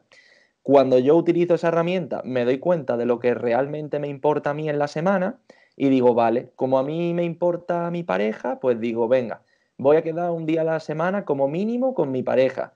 Y digo, y analizo la semana y digo, vale, tal y como lo tengo esta semana, a mí me viene bien que sea este día y lo planifico con X días de antelación. Entonces estoy mm, poniéndomelo fácil para que esas cosas que tienen que suceder, que me importan a mí y que van a hacer que mi vida cambie mejor, se den. Entonces, el planificarse la semana es una de las cosas que más me han ayudado a mejorar mi vida y lo recomiendo muchísimo como forma de, ser preactivo. Yo supongo que tú también lo utilizarás de forma parecida, ¿no? Sí, y de hecho, ahora que lo comentas, antes comentamos el tema de seleccionar buenos hábitos y de implementarlos poco a poco. Y esto no hemos hablado del el orden en que hay que implementar estos hábitos. Y aquí podría dar un consejo también, que es que ya hemos visto los hábitos que queremos eliminar, por así decirlo, y hemos visto otros que, según nuestras metas, nuestros objetivos, la persona que queremos ser, queremos implementar en nuestra vida. Pues puede que algunos vayan a ayudarnos más que otros. Entonces, estos van a ser los primeros que vamos a querer implementar. ¿Cómo lo vamos a hacer? Pues al final en la vida vamos a tener que tener claro lo que tú dices, nuestros principios y nuestros valores y sobre todo cuáles son las áreas que nos interesan. Por ejemplo, eh, a lo mejor para mí lo más importante es mi salud, que creo que debería ser en realidad la salud lo más importante para todo el mundo y actuar consecuentemente con ello, porque muchas veces decimos, vale, no, es que para mí lo más importante es mi familia, vale, pero es que tú no puedes estar con tu familia si no tienes salud. Entonces la salud está por encima porque si tú no ayudas, no, no estás bien, si estás encamado, no vas a estar mucho o muy bien con tu familia. A lo mejor eso, luego a lo mejor los aspectos sociales, establecer de cada ámbito de tu vida, como has dicho de lo de la rueda de la vida, qué es lo que nos parece más prioritario. Es verdad también que esto va a variar porque a lo mejor si ya estás muy sano, tienes buenos hábitos de salud, puede que tengas que invertir más en otros aspectos como el tema social y va a ir cambiando con el tiempo. Y después, dentro de cada uno de esos ámbitos, pues una vez los tenemos ordenados por lo que es nuestra prioridad, decir cuáles son las acciones de cada uno de estos ámbitos que me van a dar a mí el 80% de los resultados, en la ley de Pareto. El 20% de las acciones que me van a dar el 80% de los resultados. Entonces, con eso vamos a formar como una especie de escalera en la que vamos a decir, vale, este hábito me va a aportar mucho para lo que quiero conseguir ahora, pues va a ser el primero que voy a implementar porque va a ser el que más me va a ayudar. Y de esta forma vamos a poder poco a poco ir subiendo esa escalera e implementando hábitos que igual cada vez nos ayudan menos, pero van a seguir ayudándonos y al final se hace una bola de nieve aquí que vamos a conseguir casi cualquier cosa. Claro, y también lo que acabas de comentar tú de la ley de Pareto me parece muy interesante, de seleccionar el 20% de hábitos que nos den el 80%. Porque claro, cuando ya tenemos ese 20% bien fijado, sí me parece bien empezar a explorar ese 80% que puede ser interesante. Pero claro, al principio, cuando no tienen las cosas tan claras, eh, es lo que le pasa mucho a la gente que pregunta por Instagram, que a lo mejor tiene un, yo qué sé, a lo mejor tiene un problema de sobrepeso y empieza a preguntar, ¿y la dieta cetogénica? ¿Y el ayuno intermitente? Y el entrenamiento por intervalos de un minuto. Y digo, es que estás entrando ya en rendimientos decrecientes. O sea, empezar a centrarte en ese 80% te está descentrando de lo que sería tu 20%, que es empezar a aprender a comer, ¿no crees? Exacto. Y de hecho, un consejo bueno es que incluso te olvides un poco de ese 80% que, que no te da apenas resultados, porque puede ser más interesante que esos esfuerzos, esa energía y ese tiempo la dediques a otro 20% que te vaya a dar el 80% de los resultados en otro ámbito. Por ejemplo, yo una vez he conseguido de salud el 20% que me va a dar el 80% de los resultados, pues ¿para qué quiero invertir tantísimo en un 20%? Salvo que sea que eres un, friki como nosotros y quieres llegar a ser el puto amo de la hipertrofia o el puto amo de la prevención de enfermedades o de revertir la diabetes y quieres ganar el premio Nobel, pues vale, en ese caso, sí, si ese es tu, tu propósito en la vida, sí. Pero si no, invierte ese tiempo y esa energía, por ejemplo, en cuidar más a tu familia, en hacer el 20% de cosas que van a hacer que tu familia tenga el 80%, o en en, yo qué sé, en tu estudio, en estudiarte el 20% de cosas de un campo que te van a hacer eh, saber el 80% de lo que es lo más importante. Al final, tener un conocimiento mucho más horizontal, además va a hacer que se complementen unas áreas con otras y en realidad, sin darte cuenta, al aprender cosas importantes de entrenamiento, sin darte cuenta, vas a aprender también sobre nutrición, vas a aprender sobre psicología y vas a aprender sobre hábitos. Entonces, al final, todo forma un entramado y poco a poco también, sin darte cuenta, vas a aprender ese 80% que te da el 20% de otras cosas. Súper interesante. Y también eh, es verdad que cuando nosotros intentamos incorporar un hábito nuevo es porque buscamos una recompensa, que es la fase final de la que, de la que hablamos antes. Eh, ¿Tú qué opinas? ¿Que la recompensa tiene que ser por algo que tú vayas a obtener de fuera o porque sea algo que vaya a conseguir por ti? ¿Y cómo podrías diferenciarlo y, ver cuál se adaptaría más a lo que puede ser nuestro objetivo, Carlos? Bueno, lo que estás diciendo en realidad es el típico tema de, de tener un locus de control interno, es decir, Exacto. Vamos a suponer que yo lo que quiero es el, típico ejemplo de las cosas que dependen y, no dependen de ti. Mi objetivo, que soy arquero, es dar en el centro de, de la diana. Vale, ¿qué depende de mí y qué puedo hacer ahí? Puedo entrenar todos los días, puedo contener la respiración, puedo mantenerme lo más firme posible, entrenar mi fuerza para tirar bien del arco, aprender a apuntar. Una vez ha hecho eso, una vez sueltas la flecha, puede que venga una ráfaga de viento y todo eso no haya servido de nada. Entonces hay que asumir que tu meta no es la de dar en el centro de la diana, sino que es la de haber entrenado y haber hecho todo lo que depende de ti lo mejor posible. Al final hay que tener en cuenta que muchas veces decimos que la vida no son matemáticas, pero a mí me gusta decir que en realidad las matemáticas son la única ciencia que puede representarlo todo en el mundo. El único problema es que no conocemos todas las acciones. Es decir, Tú hablas sobre cáncer, hablas sobre nutrición, hablas sobre entrenamiento. Todo tendría una ecuación matemática que da las fórmulas exactas, por así decirlo. El problema es que tiene unas constantes que no conocemos. De muchas cosas sí podemos aproximarnos mucho porque conocemos las constantes, por así decirlo, que tienen más valor. Con constantes me refiero a x igual a 1 por a más 2 por b más 3 por c. Pues si conocemos las que son más grandes lo que multiplica, pues al final estamos conociendo la mayor parte de la ecuación. Entonces, en ese caso tenemos conocimiento sobre un tema, pero por ejemplo, en el caso del cáncer, hay tantas variables y tan, todas afectan tan poco que por mucho que investiguemos por ahora, es muy difícil conocer qué es lo que causa el cáncer. ¿Sabes? ¿Entiendes lo que te quiero decir? Sí, era, ejemplo? era la regresión lineal, por ejemplo, los estudios esos que eran los que intentaban ver qué variables independientes eran las que conformaban todas juntas la variable dependiente o básicamente tenía que ver con eso? A ver, es que a mí me resulta fácil porque yo, yo soy ingeniero, entonces tengo la, la mentalidad. Es básicamente que todo en la vida lo podríamos representar con una fórmula, pero esta fórmula no sabemos todos los números de la fórmula. Si sabemos los más importantes, pues podemos más o menos aproximarnos a las cosas, pero nunca sabemos la fórmula entera. Es decir, lo que quiero decir, que el azar no existe, pero sí que podemos hacer que... A ver, no existe el azar, pero sí que existe la probabilidad porque no podemos influir en todas, las, variables que afectan a algo. Por ejemplo, en el tema de la salud yo puedo hacer ejercicio, puedo comer lo mejor posible, puedo tomar los mejores suplementos, que eso no me va a asegurar que yo nunca voy a enfermar porque siempre va a haber variables que no van a depender de mí o que directamente no conocemos y no sabemos que es algo positivo para nosotros. Pero puedo maximizar la probabilidad de no enfermarme. Hasta ahí se ha entendido, ¿no? Claro, sí. A ver, recapitulando, resumiendo muchísimo, resumiendo muchísimo. Hay una variable. A ver, hay una variable dependiente que sería la salud y, la, y esa variable dependiente se influye de numerosísimas, casi infinitas variables independientes. Pues yo qué sé, los pensamientos que tengo en la cabeza, la comida que me como, eh, las horas que descanso y así sigue añadiendo, sigue añadiendo, sigue añadiendo. Entonces, ¿qué es lo que dice Carlos? Que te centres en el 20% de esas variables que componen la ecuación y que te van a dar el 80% de resultados y muy importante que esas 20% de variables dependan de ti. Que dependan de ti porque al final, mm, por ejemplo, yo los, mm, lo ejemplifico siempre, por ejemplo, con el tema del MIR.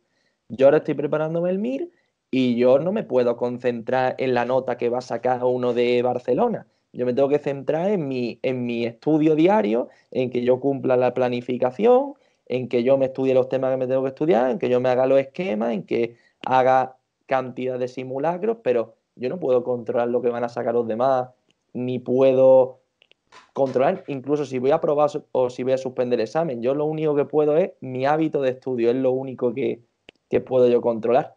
Y, y te darás cuenta que estás siguiendo ese 20% porque en el momento que te empiezas a concentrar en una cosa que no tenga que ver con eso, te va a llenar de ansiedad. Exacto. Entonces, me he enrollado muchísimo y encima lo he explicado con términos de ingeniero que la mitad de la gente no va a entender, pero lo que estábamos era en que queremos buscar una recompensa a nuestro hábito. Y entonces, el primer paso para que cuando tenemos un hábito eh, tengamos cierta recompensa es que muchas veces lo que conseguimos con los hábitos no lo vemos de un día para otro, sino que lo vemos a largo plazo. Entonces, olvidarnos de ese largo plazo que ya llegará y tener como meta el propio hábito. Es decir, por ejemplo, yo quiero ganar seguidores en Instagram, que es algo que no depende para nada de mí. Y para ello me pongo el hábito de subir una imagen aportando algo todos los días. Pues el hábito es crear esa imagen y subirla. Y la meta sería la de ganar, a lo mejor llegar a 100.000 seguidores, por decir algo. Pues para mí la meta no es llegar a 100.000 seguidores. Para mí la meta es subir una infografía hoy. Hasta ahí, el partido a partido del Cholo Simeone, así se entiende mejor. Luego, eh, si simplemente eso, como en realidad tú tu cuerpo o tú no estás percibiendo que recibes un premio, aunque en este caso sí, porque a lo mejor recibes mucho like o algo, pues eh, lo que se trata es de que tú tengas algo que tu cuerpo perciba un premio.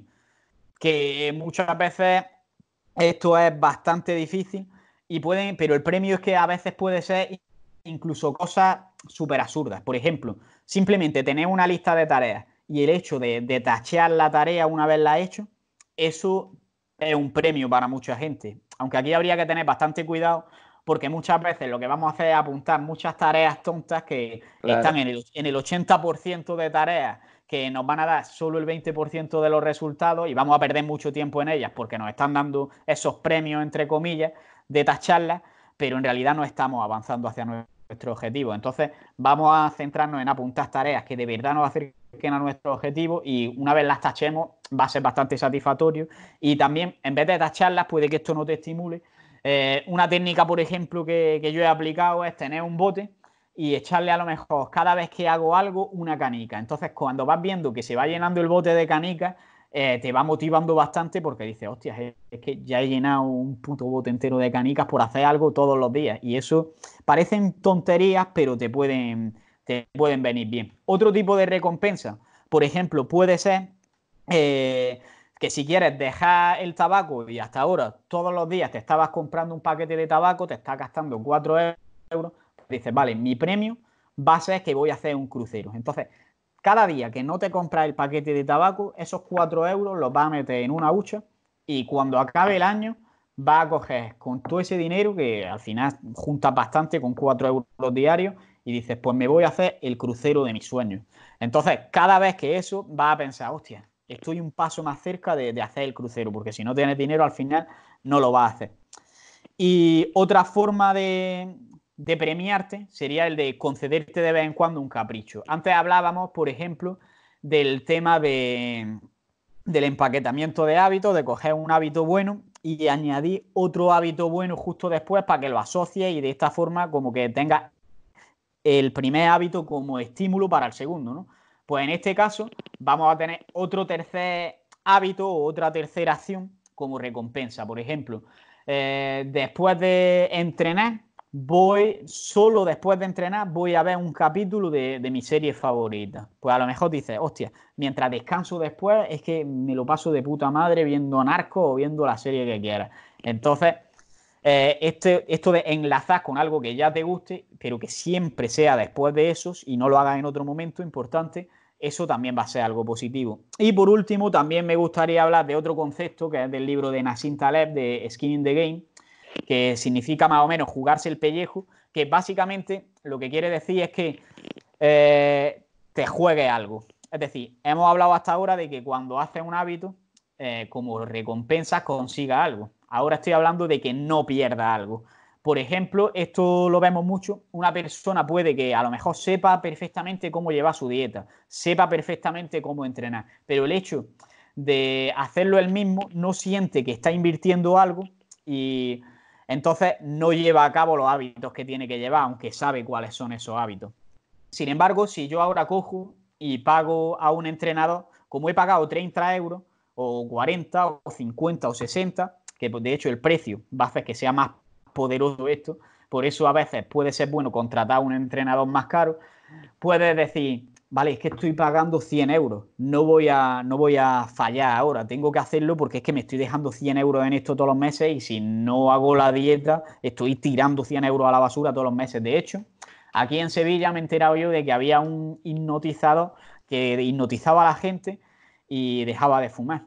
Y eso era básicamente por el precio, por el barato precio de 200 o 300 euros. Y yo me pregunto, ¿la gente deja de fumar porque le han hipnotizado o deja de fumar porque ha pagado 200 euros y dice, me cago en la puta. Es decir, que ponga algo en juego y de esta forma, por la propia ley del costo hundido, que básicamente lo que nos quiere decir es que cuando has invertido algo te cuesta más abandonarlo. Por ejemplo, cuando llevas muchos años con una pareja, te cuesta dejarla porque dices, llevo tanto tiempo con esta chavala que que ahora me resulta muy difícil dejarla porque ya que he invertido tanto en ella y, hemos luchado tanto por esto, ¿cómo lo vamos a dejar ahora? O con el hecho de una carrera, llevo cuatro años estudiando, ¿cómo la voy a dejar ahora en el último año? Sientes como que tienes que seguir invirtiendo simplemente porque ya invertí. Y esto lo podemos utilizar a nuestro favor para crear hábitos. Lo podemos hacer con lo que digo, de contratar un, un entrenador, lo podemos hacer apostando algo con nuestro amigo, que por ejemplo le diga, mira, me apuesto lo que sea a que voy a entrenar cinco días a la semana. Ya la siguiente me apostará a otra cosa, pero así va generando el hábito. Luego, eh, también pues, puedes hacerlo haciendo un compromiso público. Es decir, pone en Instagram, de aquí al día no sé qué, voy a llevar esta dieta y voy a colgar aquí los resultados, sean cuales sean. Pues a lo mejor simplemente por el hecho de verte en ridículo, de que no has cumplido con, tu objetivo, eh, vas a seguir mucho más los, hábitos que te van a llevar a cumplir con tu objetivo que, si no hubiera hecho esa publicación.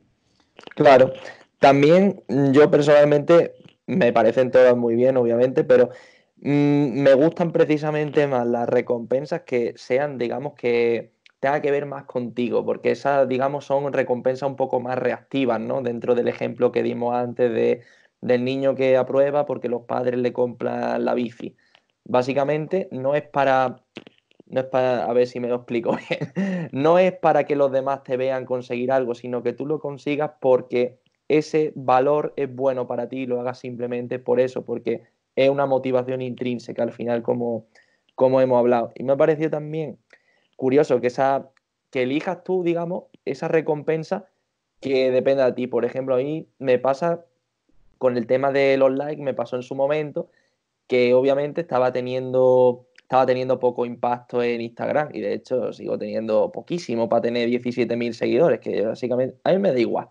Pero yo desde que empecé a fijarme más en los posts que yo subía que en los seguidores que me seguían, automáticamente era como, puff, qué puta liberación, tío, porque yo me centraba ya en aportar y aportar depende de mí. No depende de mí ni quién me siga, ni quién me dé like, ni quién me dé un follow, eso es que me da igual.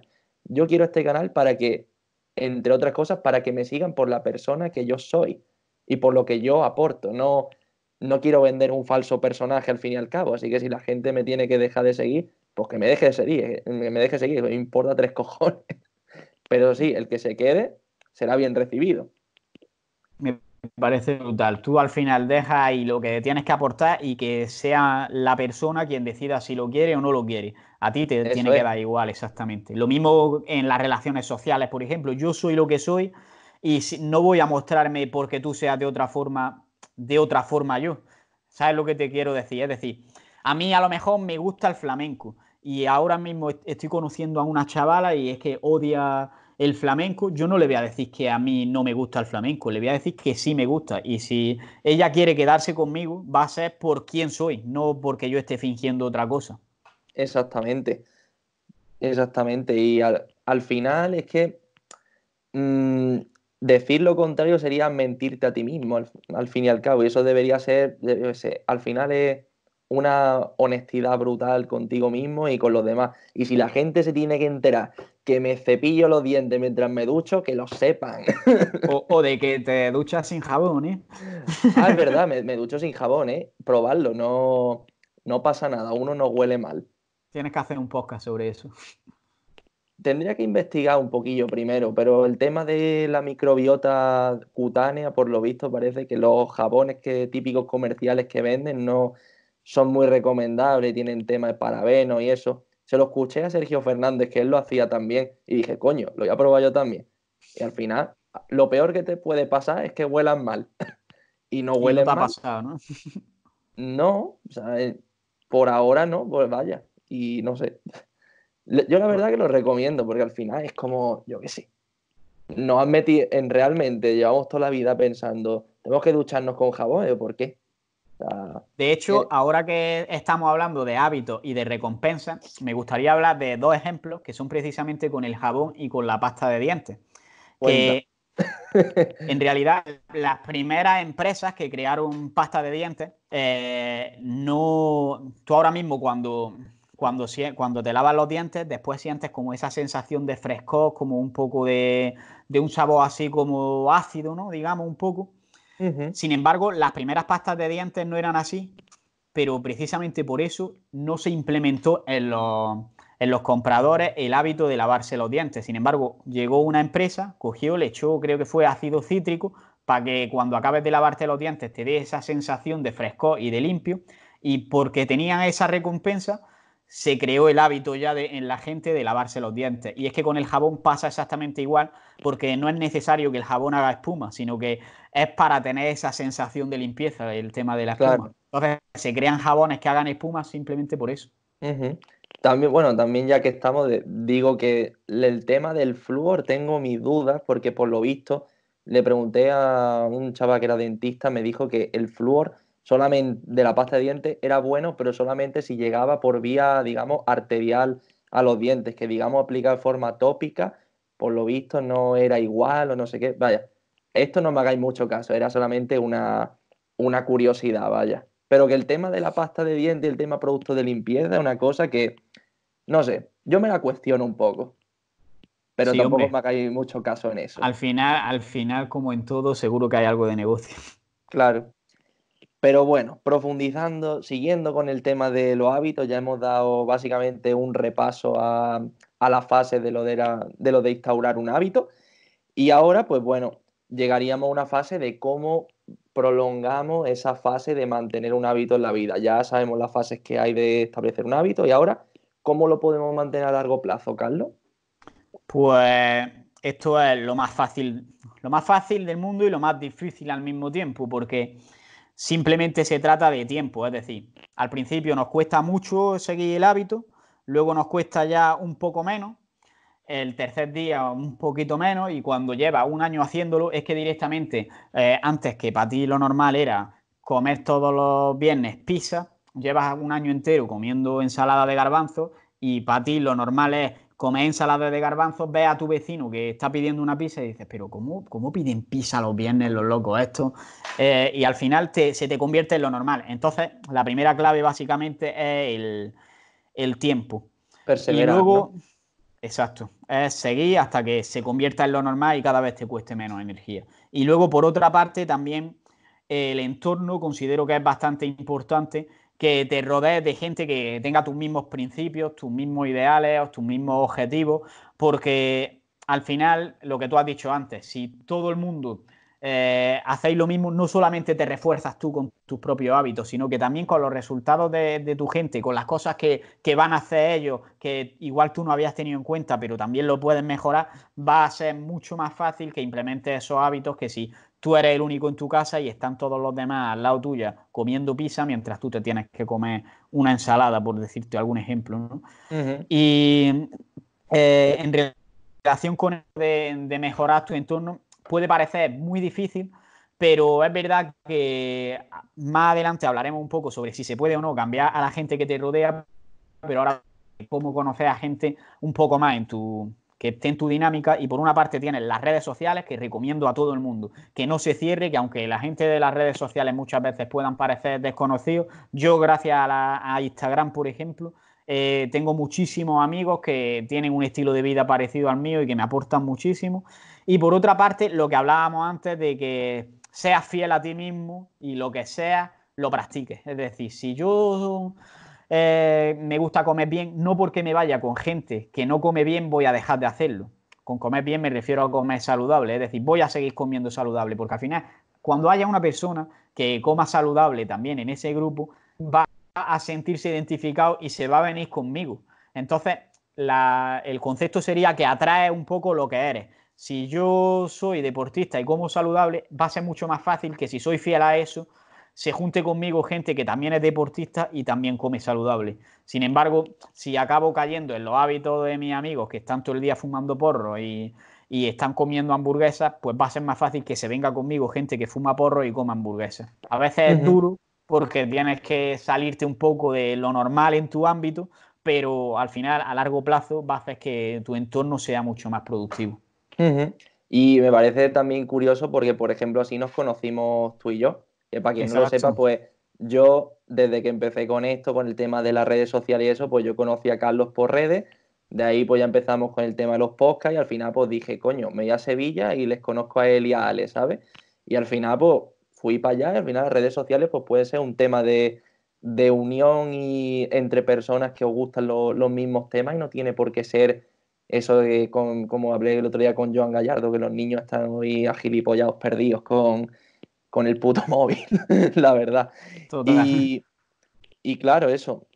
Al final, pues, os recomiendo a todos que uséis las redes sociales como para lo que realmente es, pues al final, pues, encontrar grupos que, fomenten lo que realmente vosotros queráis ser y os juntéis con ellos.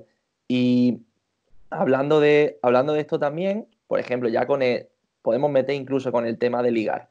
Cuando queráis ligar, yo antes esto pasaba, o sea, ya Mario Luna, te quiero. Cuando queráis ligar lo que sea, en vez de cañear por Instagram, básicamente invitar a las chavalas o a los chavales a hacer algo que vosotros haríais igualmente. Es que esa es la clave de, todo. De primero, para que te conozcan como tú eres. Y segundo, porque así no eres tan invasivo a la hora de, quedar con alguien. Como por ejemplo, cuando yo quiero conocer a una persona, eh, como por ejemplo cuando os conocí a vosotros, digo, y yo, pues me voy a Sevilla y vamos a hacer algo que hiciéramos igualmente, mm, aunque yo no fuera. Digo, puedo entrenar. Y al final, pues, tienes que buscar pues, ese tipo de, de cosas. Y al final, pues, no sé, me parece súper curioso. Buen, buen consejo ese. Ya aquí dando hasta consejos de ligar y todo. Hombre, es que al final es lo que te digo, el conocimiento horizontal al final hace que todo se relacione y sabiendo un poquito de todo, aumenta el conocimiento de un montoncito, aumenta en otro. ¿Sabes lo que te quiero decir? Si cada, si cada tema, digamos que es un montoncito de, piedras, por así decirlo, echando piedras en uno, indirectamente estás echando en el otro. Claro. Y bueno, Carlos, como ya hemos hablado de cómo intentar asentar ese hábito en la vida, el hábito que sea, ¿cómo podemos evitar recaer en un mal hábito? A ver, eh, primero te quiero hacer una pregunta. ¿Qué es recaer en un mal hábito? Vale, recaer. Tú has dejado de fumar, ¿vale? Pues yo qué sé, vamos a suponer que llevas tres días sin fumar. Y ahora el cuarto día te enciende un cigarro y ya te engancha y te acaba un paquete. Eso sería recaer. Bueno, al menos la acepción. En ese caso es que todavía todavía no has cambiado el hábito directamente porque no te sale automático no fumar, porque llevas solo tres días y por otra parte eh, estás diciendo que vuelves a engancharte, es decir, que te fumas ese paquete y no se queda ahí, sino que sigues fumando después, los días siguientes. Entonces, en ese caso has recaído en el hábito. Pero, por ejemplo, eh, con el tema de la dieta, o del entrenamiento, porque falte un día a un gimnasio, no estás recayendo en un mal hábito. O porque un día te comas una pizza, no estás recayendo en un mal hábito. Tu hábito sigue siendo lo que haces la mayor parte del tiempo. Entonces, a mí me gusta mucho hablar de, la regla de los dos días. Por ejemplo, si mi hábito que me he propuesto es el de entrenar de lunes a viernes todos los días eh, durante todo el año, por decir algo, pues que un día falle, no pasa nada pero voy a intentar no fallar dos días seguidos, por decirte algo. O con la dieta, ¿vale? Voy a, intentar seguir una dieta contando macro o lo que tú quieras hacer eh, durante todos los días de la semana. Y a lo mejor hay un día que no cuento macro, ¿vale? Pero no va a haber dos días seguidos. Entonces, eso lo creo, creo que es una clave, en plan, intentar no juntar más de dos días, más de un día seguido en el que, en el que falle en un hábito, por así decirlo. Claro. Y entonces, em, bueno, también con, cuentas de recordar de cómo te sientes cuando, cuando vuelve a recaer, digamos, recaer lo que hemos estado hablando, de cuando vuelve, cuando vuelven, digamos, recordar lo mal que te sentías en el momento que hacía eso también puede como disuadirte de, de volver a practicar, ¿no? Bueno, más bien esto yo lo, veo como para evitar la, tentación o para solucionar. Y esto hay muchos consejos para solucionar o, digamos, vencer las tentaciones, que uno de ellos es lo que dices que es, si por ejemplo tu, la tentación es un alimento que, que te cuesta mucho controlarte con él, pues cuando aparezca esa tentación, por ejemplo, vaya a un restaurante y tengas que decidir entre pedirte una carne con verdura asada o una pizza y no quieras comer la pizza porque estés en un periodo en el que estás en déficit o cualquier motivo, pues piensa, vale, el sabor de la pizza está de puta madre, pero ¿cómo me voy a sentir después cuando recuerde que he fallado al hábito que me había propuesto y que no he sido fiel a mí mismo, por así decirlo. ¿Y cómo me voy a sentir en el caso contrario? En el caso de que pida la carne con la con, la, con los vegetales. ¿Me voy a sentir con hambre? Probablemente no. ¿Me voy a sentir satisfecho porque he cumplido con, mi, con el hábito que me había propuesto? ¿He sido fiel a mí mismo? Probablemente sí. Entonces, eso va a reforzar que, que tome una buena decisión. Luego hay también más estrategias en relación con vencer las tentaciones, como puede ser la de simplificar la, propia tentación. Es decir, eh, si por ejemplo yo voy a, a un restaurante, lo mismo, y, veo que en el postre, por ejemplo, el otro día fui a un sitio que te ponían uno, es verdad que lo probé, pero porque en ese caso quería probarlo, vaya, eh, te ponían unos batidos, que eran una copa de batido, y en lo alto una tarta con un trozo de XK o de Kinder, vamos, una locura de, mil calorías de postre. Y en realidad una forma de vencer la tentación de pedirte eso, es decir, en realidad no es para tanto, es que es un poco de batido y una tarta que son dos postres que independientemente los he tomado ya 200 veces, por la típica tarta de zanahoria y el típico, y el típico helado de vainilla hecho batido. Pues tampoco me va a aportar nada nuevo, me bastaría con la mitad de cada uno para probarlo un poco y ya está. Y, decir esto, incluso decirlo en voz alta o decir, vale, esta pizza, esta pizza en verdad no tiene nada, es una masa normalilla y a la que le han echado un poco de tomate y le han echado un poco de, queso encima. Eso, al final, decirlo en voz alta va a hacer como que diga, pues no es para tanto, tampoco tenía tanta gana yo, yo de esto. Y también eh, reconocer que, el deseo es, es insaciable. Es decir, yo cuando voy a una heladería siempre tienen tres tamaños de helado, el pequeño, el mediano y el grande. Y te dan ganas a veces de pedirte el más grande.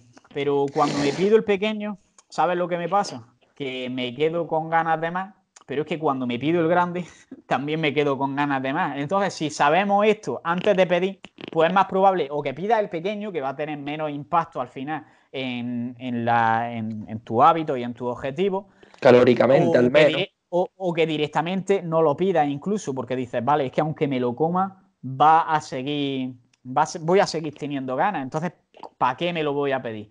Y luego, por último, también es que no siempre tenemos que evitar las tentaciones, que no está mal darse un capricho de vez en cuando y esto va a reforzar los buenos hábitos que tenemos, porque si piensas que hay algo que no lo vas a poder hacer nunca más, como me pasaba a mí cuando he contado antes de que estaba con una dieta muy estricta y veía las pastelerías y decía, hostia, es que esto no lo voy a poder yo comer nunca más si quiero mantener estos abdominales.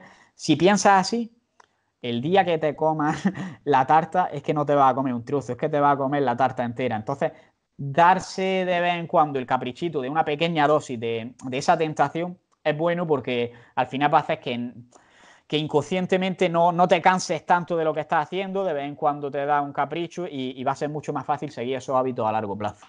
Claro, y ahí, por ejemplo, también entraría la, típica estrategia de, compartir postres.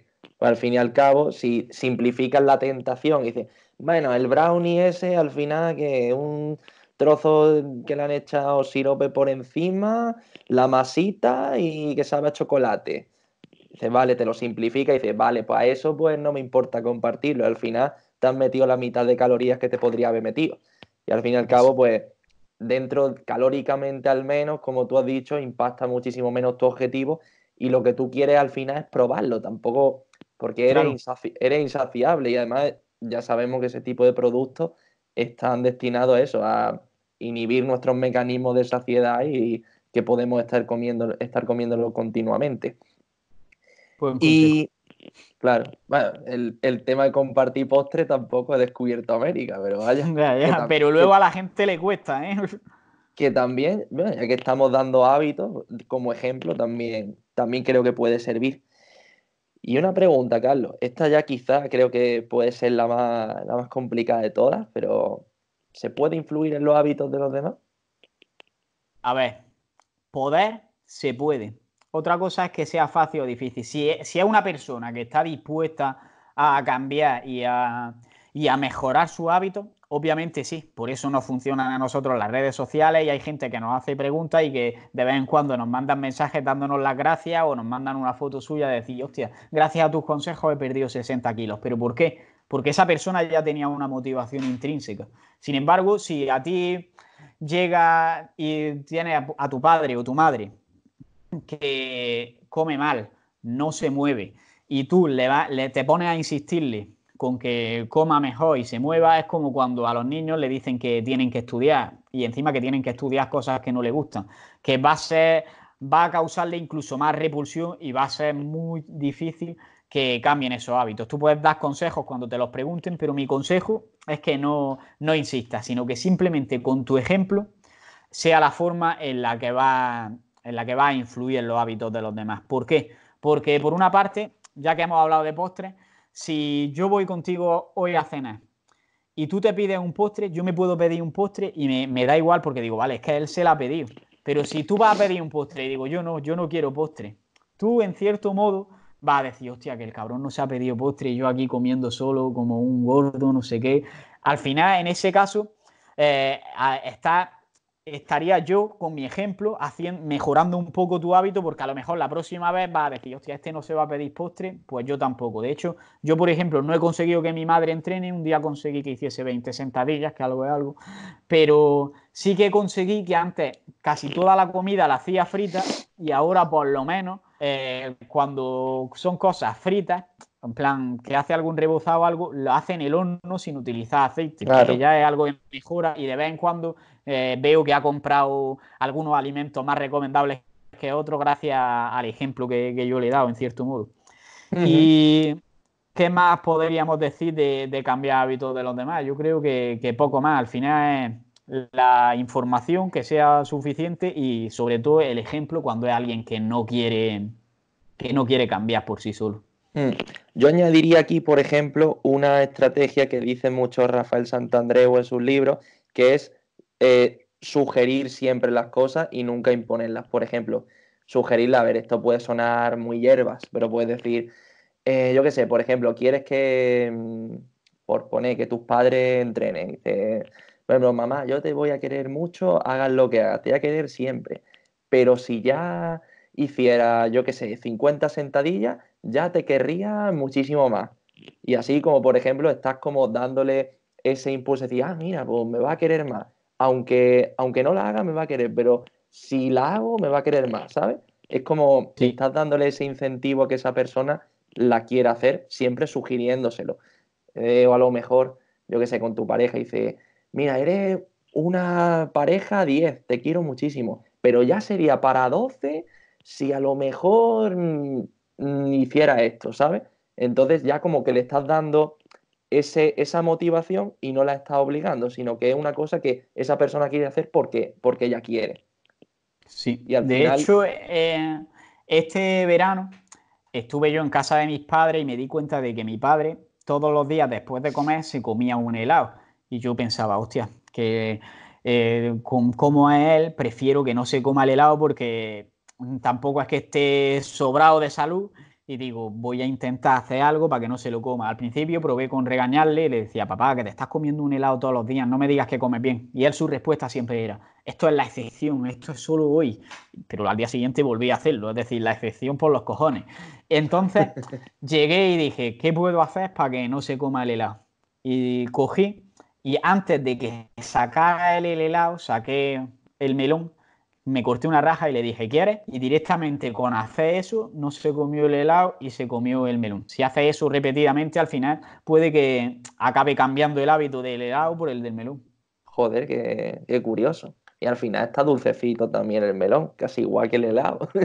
sí, sí, casi lo mismo. Otra cosilla también, en relación a cambiar a los demás, es que en realidad es lo que esto lo hablamos mucho cuando quedamos porque al final como tú eres vegano tuvimos me acuerdo que ir a un restaurante vegano.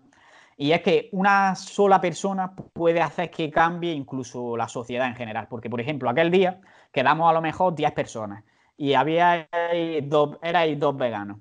Eh, entonces teníamos por huevos que elegir un restaurante donde hubiese opciones veganas. Entonces qué pasa que si yo tengo un restaurante y quiero que vengan grupos en los que hay veganos pues voy a tener opciones veganas porque si no, cuando haya una sola persona en un grupo que sea vegana, no va a venir ese grupo y estoy perdiendo ya a 10 personas por eso. Entonces, quiero que nos den, lo que quiero enfatizar con esto es que simplemente con, con que una persona cambie su hábito o que se comprometa con alguna causa, va a tener mucho más impacto en la sociedad de lo que creemos. Yo al final siempre digo que influimos más con lo que ponemos en la, con la lista de la compra o con dónde invertimos el dinero o con lo que hacemos en el día a día en general que con el voto que damos en las elecciones cada cuatro años, que al final eso no tiene casi ningún impacto. Hmm. Y al final, como al final siempre nos estamos juntando con personas, hay personas que obviamente también van a tener malos hábitos que no nos gustan y que no, a lo mejor no podemos hacer nada por elegirlo. Por ejemplo, un amigo nuestro que tiene un amigo, yo qué sé, que fuma. Y al final te tienes que juntar con esa persona, aunque a ti pues, no, te, no te termine de molar. ¿Cómo podemos hacer para no, para no contaminarnos de los malos hábitos de los demás? Vale. Eh, aquí primero es tener convicción de lo que queremos y de lo que tenemos que hacer para lo que queremos conseguir. Es decir, lo que hablábamos antes de tener claro nuestros principios y nuestros valores. Si yo tengo claro que para mí lo más importante es mi salud, difícilmente se me va a pasar por la cabeza empezar a fumar. De hecho, es que cuando, por ejemplo, yo no bebo cerveza y siempre me dice la gente, eso es que tienes que beber cerveza porque no la has probado suficiente y por eso no te gusta. Y digo, es que no soy tan gilipollas para ponerme a beber cerveza que no me gusta y que sé que es mala. Es que no tiene ni pie ni cabeza eso. Entonces, por una parte, no dejarte llevar, porque el, la adolescencia a veces, por ejemplo, somos muy influenciables y simplemente por ser más guay adquirimos hábitos que en realidad al principio no nos gusta, como puede ser el caso de fumar o de la cerveza. Luego también lo que hablábamos antes de distinguir lo que depende de ti y lo que no depende de ti. Y los hábitos de los demás no dependen de ti, pero tú sí puedes controlar lo que haces o dejas de hacer. Entonces, no porque tú te pidas una hamburguesa o porque tú te pidas un postre, yo tengo que pedírmelo. Yo tengo claro mi objetivo, como he dicho, entonces no voy a pedirme ese postre porque ahora mismo estoy perdiendo grasa o porque quiero cuidar mi salud o porque me comí ya otro postre ayer y no quiero fallar dos días seguidos en, el hábito. Y luego, eh, también lo que hablaba al principio de que tu entorno te afecta, pero es que si tú caes una vez en que cuando te digan un día es un día, eh, no pasa nada porque te comas esta tarta, que no se te van a borrar los abdominales y te la comes, pues al final lo que pasa que al día siguiente te lo van a decir otra vez. Dice, ¿por qué el otro día sí y hoy no? Y cada vez va a incentivar que te, que te insistan más. Entonces, tenés claro eso y sé un poco fuerte. Al, fin, al final a veces va a ser un poco difícil, pero tú le, tienes que expresar al final que lo que te hace feliz a ti es una cosa y no lo fácil o lo que a ellos les parece lo fácil, porque quizá para ti ya sea incluso fácil decir que no a ciertas, a ciertas cosas. Claro, y que si te salta algo, que sea cuando tú lo decidas, no cuando los demás te impongan por la típica presión social al fin y al cabo, que es de lo, de lo que se trata, de tener muy claro lo que tú quieres y, por ejemplo, a mí me, me recuerdo que hace un par de años, cuando yo me enteré que el ayuno intermitente existía, que ya existía de antes, pero bueno, como yo empecé esto hace dos o tres años, pues entonces yo me enteré que ayuno intermitente existía, que Power Explosive estaba subiendo vídeos de ayuno intermitente y dije, ¡buah! Esto es la puta hostia porque yo hasta ahora siempre había desayunado porque esto era lo mejor del mundo, pues voy a probarlo.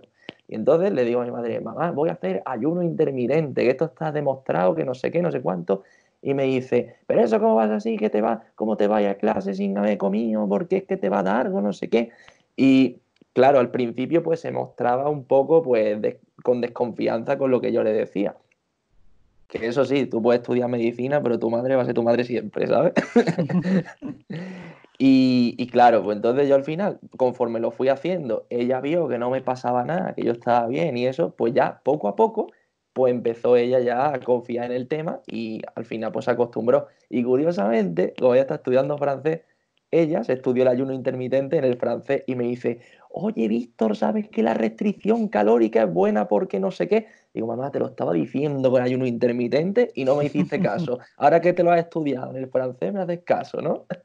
Y para que veas que al final llegamos a nuestras mejores conclusiones por nosotros mismos que por lo que al final veamos de los demás, pero que también es importante tener ese ejemplo. Me ha parecido graciosa la, anécdota.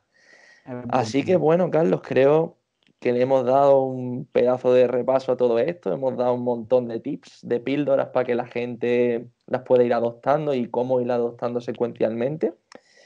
Así que, mm, como hemos dicho tantas cosas, ¿qué sería el pareto de lo que has dicho? Lo, más importante, el 20% de cositas que, sería lo más, el 80% de esta charla. Yo creo que lo más importante de todo es que si te tienes que centrar en unos hábitos o en cualquier cosa en, la vida, que le des importancia únicamente a lo que dependa en cierto grado de ti y lo que no dependa de ti, ignóralo como si no existiese y además de que dependa de ti que sea importante. Es decir, lo que hemos hablado, que sea del 20% de un campo que te va a dar el 80% de resultado. Yo creo que esa es una máxima que se aplica prácticamente a, todos los ámbitos de, la vida, es centrarte en lo que depende de ti y es importante y que en mi caso por lo menos es de lo que más me ha beneficiado porque te hace que no le prestes atención a cosas insignificantes sobre todo y que mm. centralice y focalice mucho mejor tu energía y tu tiempo. Claro, porque por ejemplo, eh, claro, aquí el típico ejemplo de es que el gobierno y, los pactos del PSOE y de Podemos son súper importantes, pero bueno, dependen de ti en algo, ¿sabes? el, clásico ejemplo, no me gusta el color de esta pared. Puedes hacer eso y sentarte en el sofá o puedes decir, no me gusta el color de la pared. Voy a ir a, la tienda de pintura, voy a comprar pintura roja que me gusta más y voy a pintarla. Hay que tener claro que si importa, que actúe en ello y, y si no te importa, ignóralo. Si no te importa o si no puedes hacer nada con ello, ignóralo. Cambia lo que puedas cambiar. Exactamente. ¿Y qué libro, qué autores, qué, bibliografía nos aportarías para, poder profundizar, Carlos? ¿Sobre hábitos o sobre cualquier temática? Eh, sobre hábitos, cualquier temática que a ti te haya servido, te haya interesado o pueda ayudar. Vale. Te voy a decir, te podría decir muchísimo, en verdad. Eh, de, ya hemos hablado bastante sobre durante la entrevista de el de psicología del éxito de Mario Luna a nivel de desarrollo personal y entender muchas cosas que nos van a hacer más fácil cumplir nuestros objetivos, lo considero una obra maestra. Creo que tenía mil y pico páginas, yo hace ya bastante que me lo leí, pero es un libro que... A tope. Es un, libro que recomiendo totalmente. Sobre psicología, me gusta mucho el de Pensar rápido, pensar despacio, de Daniel Carnegie o algo así. Kahneman. Ese libro Kahneman, eso. Es el Carnegie es el de algo, es algo de economía. Sí, el de influir en las eh, personas y eso. Pero ese libro es muy repetitivo, a mí no me. Sí, a mí, no, me, a mí no me terminó de gustar. Eh, luego, eh, también es verdad que lo de los libros no me gusta recomendar así de forma general porque más bien depende de, de qué quieres aprender y cuál es tu nivel. Entonces, dependiendo de eso, te recomendaría unos libros u otros. Por ejemplo, sobre inversión en bolsa también he leído bastante y te podría recomendar, por ejemplo, el pequeño libro que genera riqueza o Buffetología, como de Warren Buffett. No lo ha escrito Buffett, pero ese libro para iniciarse lo considero bastante bueno. Eso de sobre inversión en bolsa, ¿no? Sí. Vale, vale, sí, sí. Tú sigue, tú sigue, que yo de esto... O, sobre, o sobre economía también los típicos, de padre rico, padre pobre y ese tipo de Kiyosaki o también eh, libros sobre nutrición y todo esto que me gustan mucho. Si tienes ya algo de nivel, por ejemplo, el del cerebro obeso de Luis Jiménez me gusta mucho. El de lo, que dice la ciencia para adelgazar de él también es muy bueno. En general los libros de Luis Jiménez son bastante recomendables y luego ya pues los más famosos de si quieres empezar de mi dieta cogea, mi dieta ya no cogea, el de Carlos Ríos de come comida real. Ese es muy bueno, la verdad. aquí algunos libros así también interesante. Eh, el de fitness revolucionario, el de. no, me acuerdo ahora mismo, no me acuerdo ahora mismo el nombre, pero ese para tener un concepto básico de la salud, de todos los aspectos, es muy bueno. Salud salvaje eh, se llamaba, creo. Eso, salud salvaje, eso es. No me acordaba del nombre específico. ¿Qué más libros te puedo recomendar? Yo creo que con eso tenemos bastante. Si quieres... de nutrición, de, entrenamiento, quizás nos has dicho. Ah, bueno, de entrenamiento, si lo que quieres, si lo que te interesa es la hipertrofia, el de las pirámides, las pirámides de la nutrición, tanto la de la nutrición como lo del la del entrenamiento, lo considero una de las bases. Si quieres empezar a aprender sobre nutrición o sobre entrenamiento de fuerza e hipertrofia, empieza por ahí. Perfecto. Pues bueno, Carlos, hasta aquí la entrevista y ¿dónde podrían encontrarte y dónde podrían escuchar tus redes sociales? Bueno, ya, ya lo he dicho al principio, que sería en mi Instagram, que es Fitman Power, todo junto, porque no se pueden poner espacio en el nombre más que nada. luego también en mi propio podcast, que es Fitman Power, y pues luego pone entrenamiento, salud, nutrición. También tengo otro podcast con Alex Carrasco, que sé que también lo va a entrevistar, que es el de El Rincón Metabólico, donde hablamos un poco de CrossFit, tú de hecho saliste allí y que es un poco más de cachondeo, no es un podcast tan serio como esto, sino que directamente es como mezclar esto con la resistencia, por así decirlo, de David. Ah, está guapo, está guapo. y luego ahí estuvo guapo. Luego tendríamos también eh, mi página web, que sería Fitman Power, o mi canal de YouTube, aunque realmente lo que subo en la web sí es verdad que son artículos de vez en cuando, pero no la tengo muy activa. Y en, el canal de YouTube normalmente subo lo mismo que en el podcast, pero a veces vienen cosas que son buenas de ver y tengo algunos vídeos también antiguos que he subido sobre diferentes temáticas que no están en el podcast, entonces puede ser interesante verlo. Y yo creo que nada más. Joder, pues ha estado súper interesante, Carlos. Encantado de estar contigo y nada, estamos en contacto para, todo lo que quieras. Pues nada, y cuando quieras ya sabes que tú también puedes volver a mi podcast, que hace ya mucho tiempo que, que grabamos. Cuando tú quieras, tío. Pues nada, encantado. Un abrazo. Saludo y muchas gracias. Escucha cómo suena, imposible va a llegar ya, nadie me va a frenar, ahora soy yo el que se va a levantar. Yo, escucha cómo suena.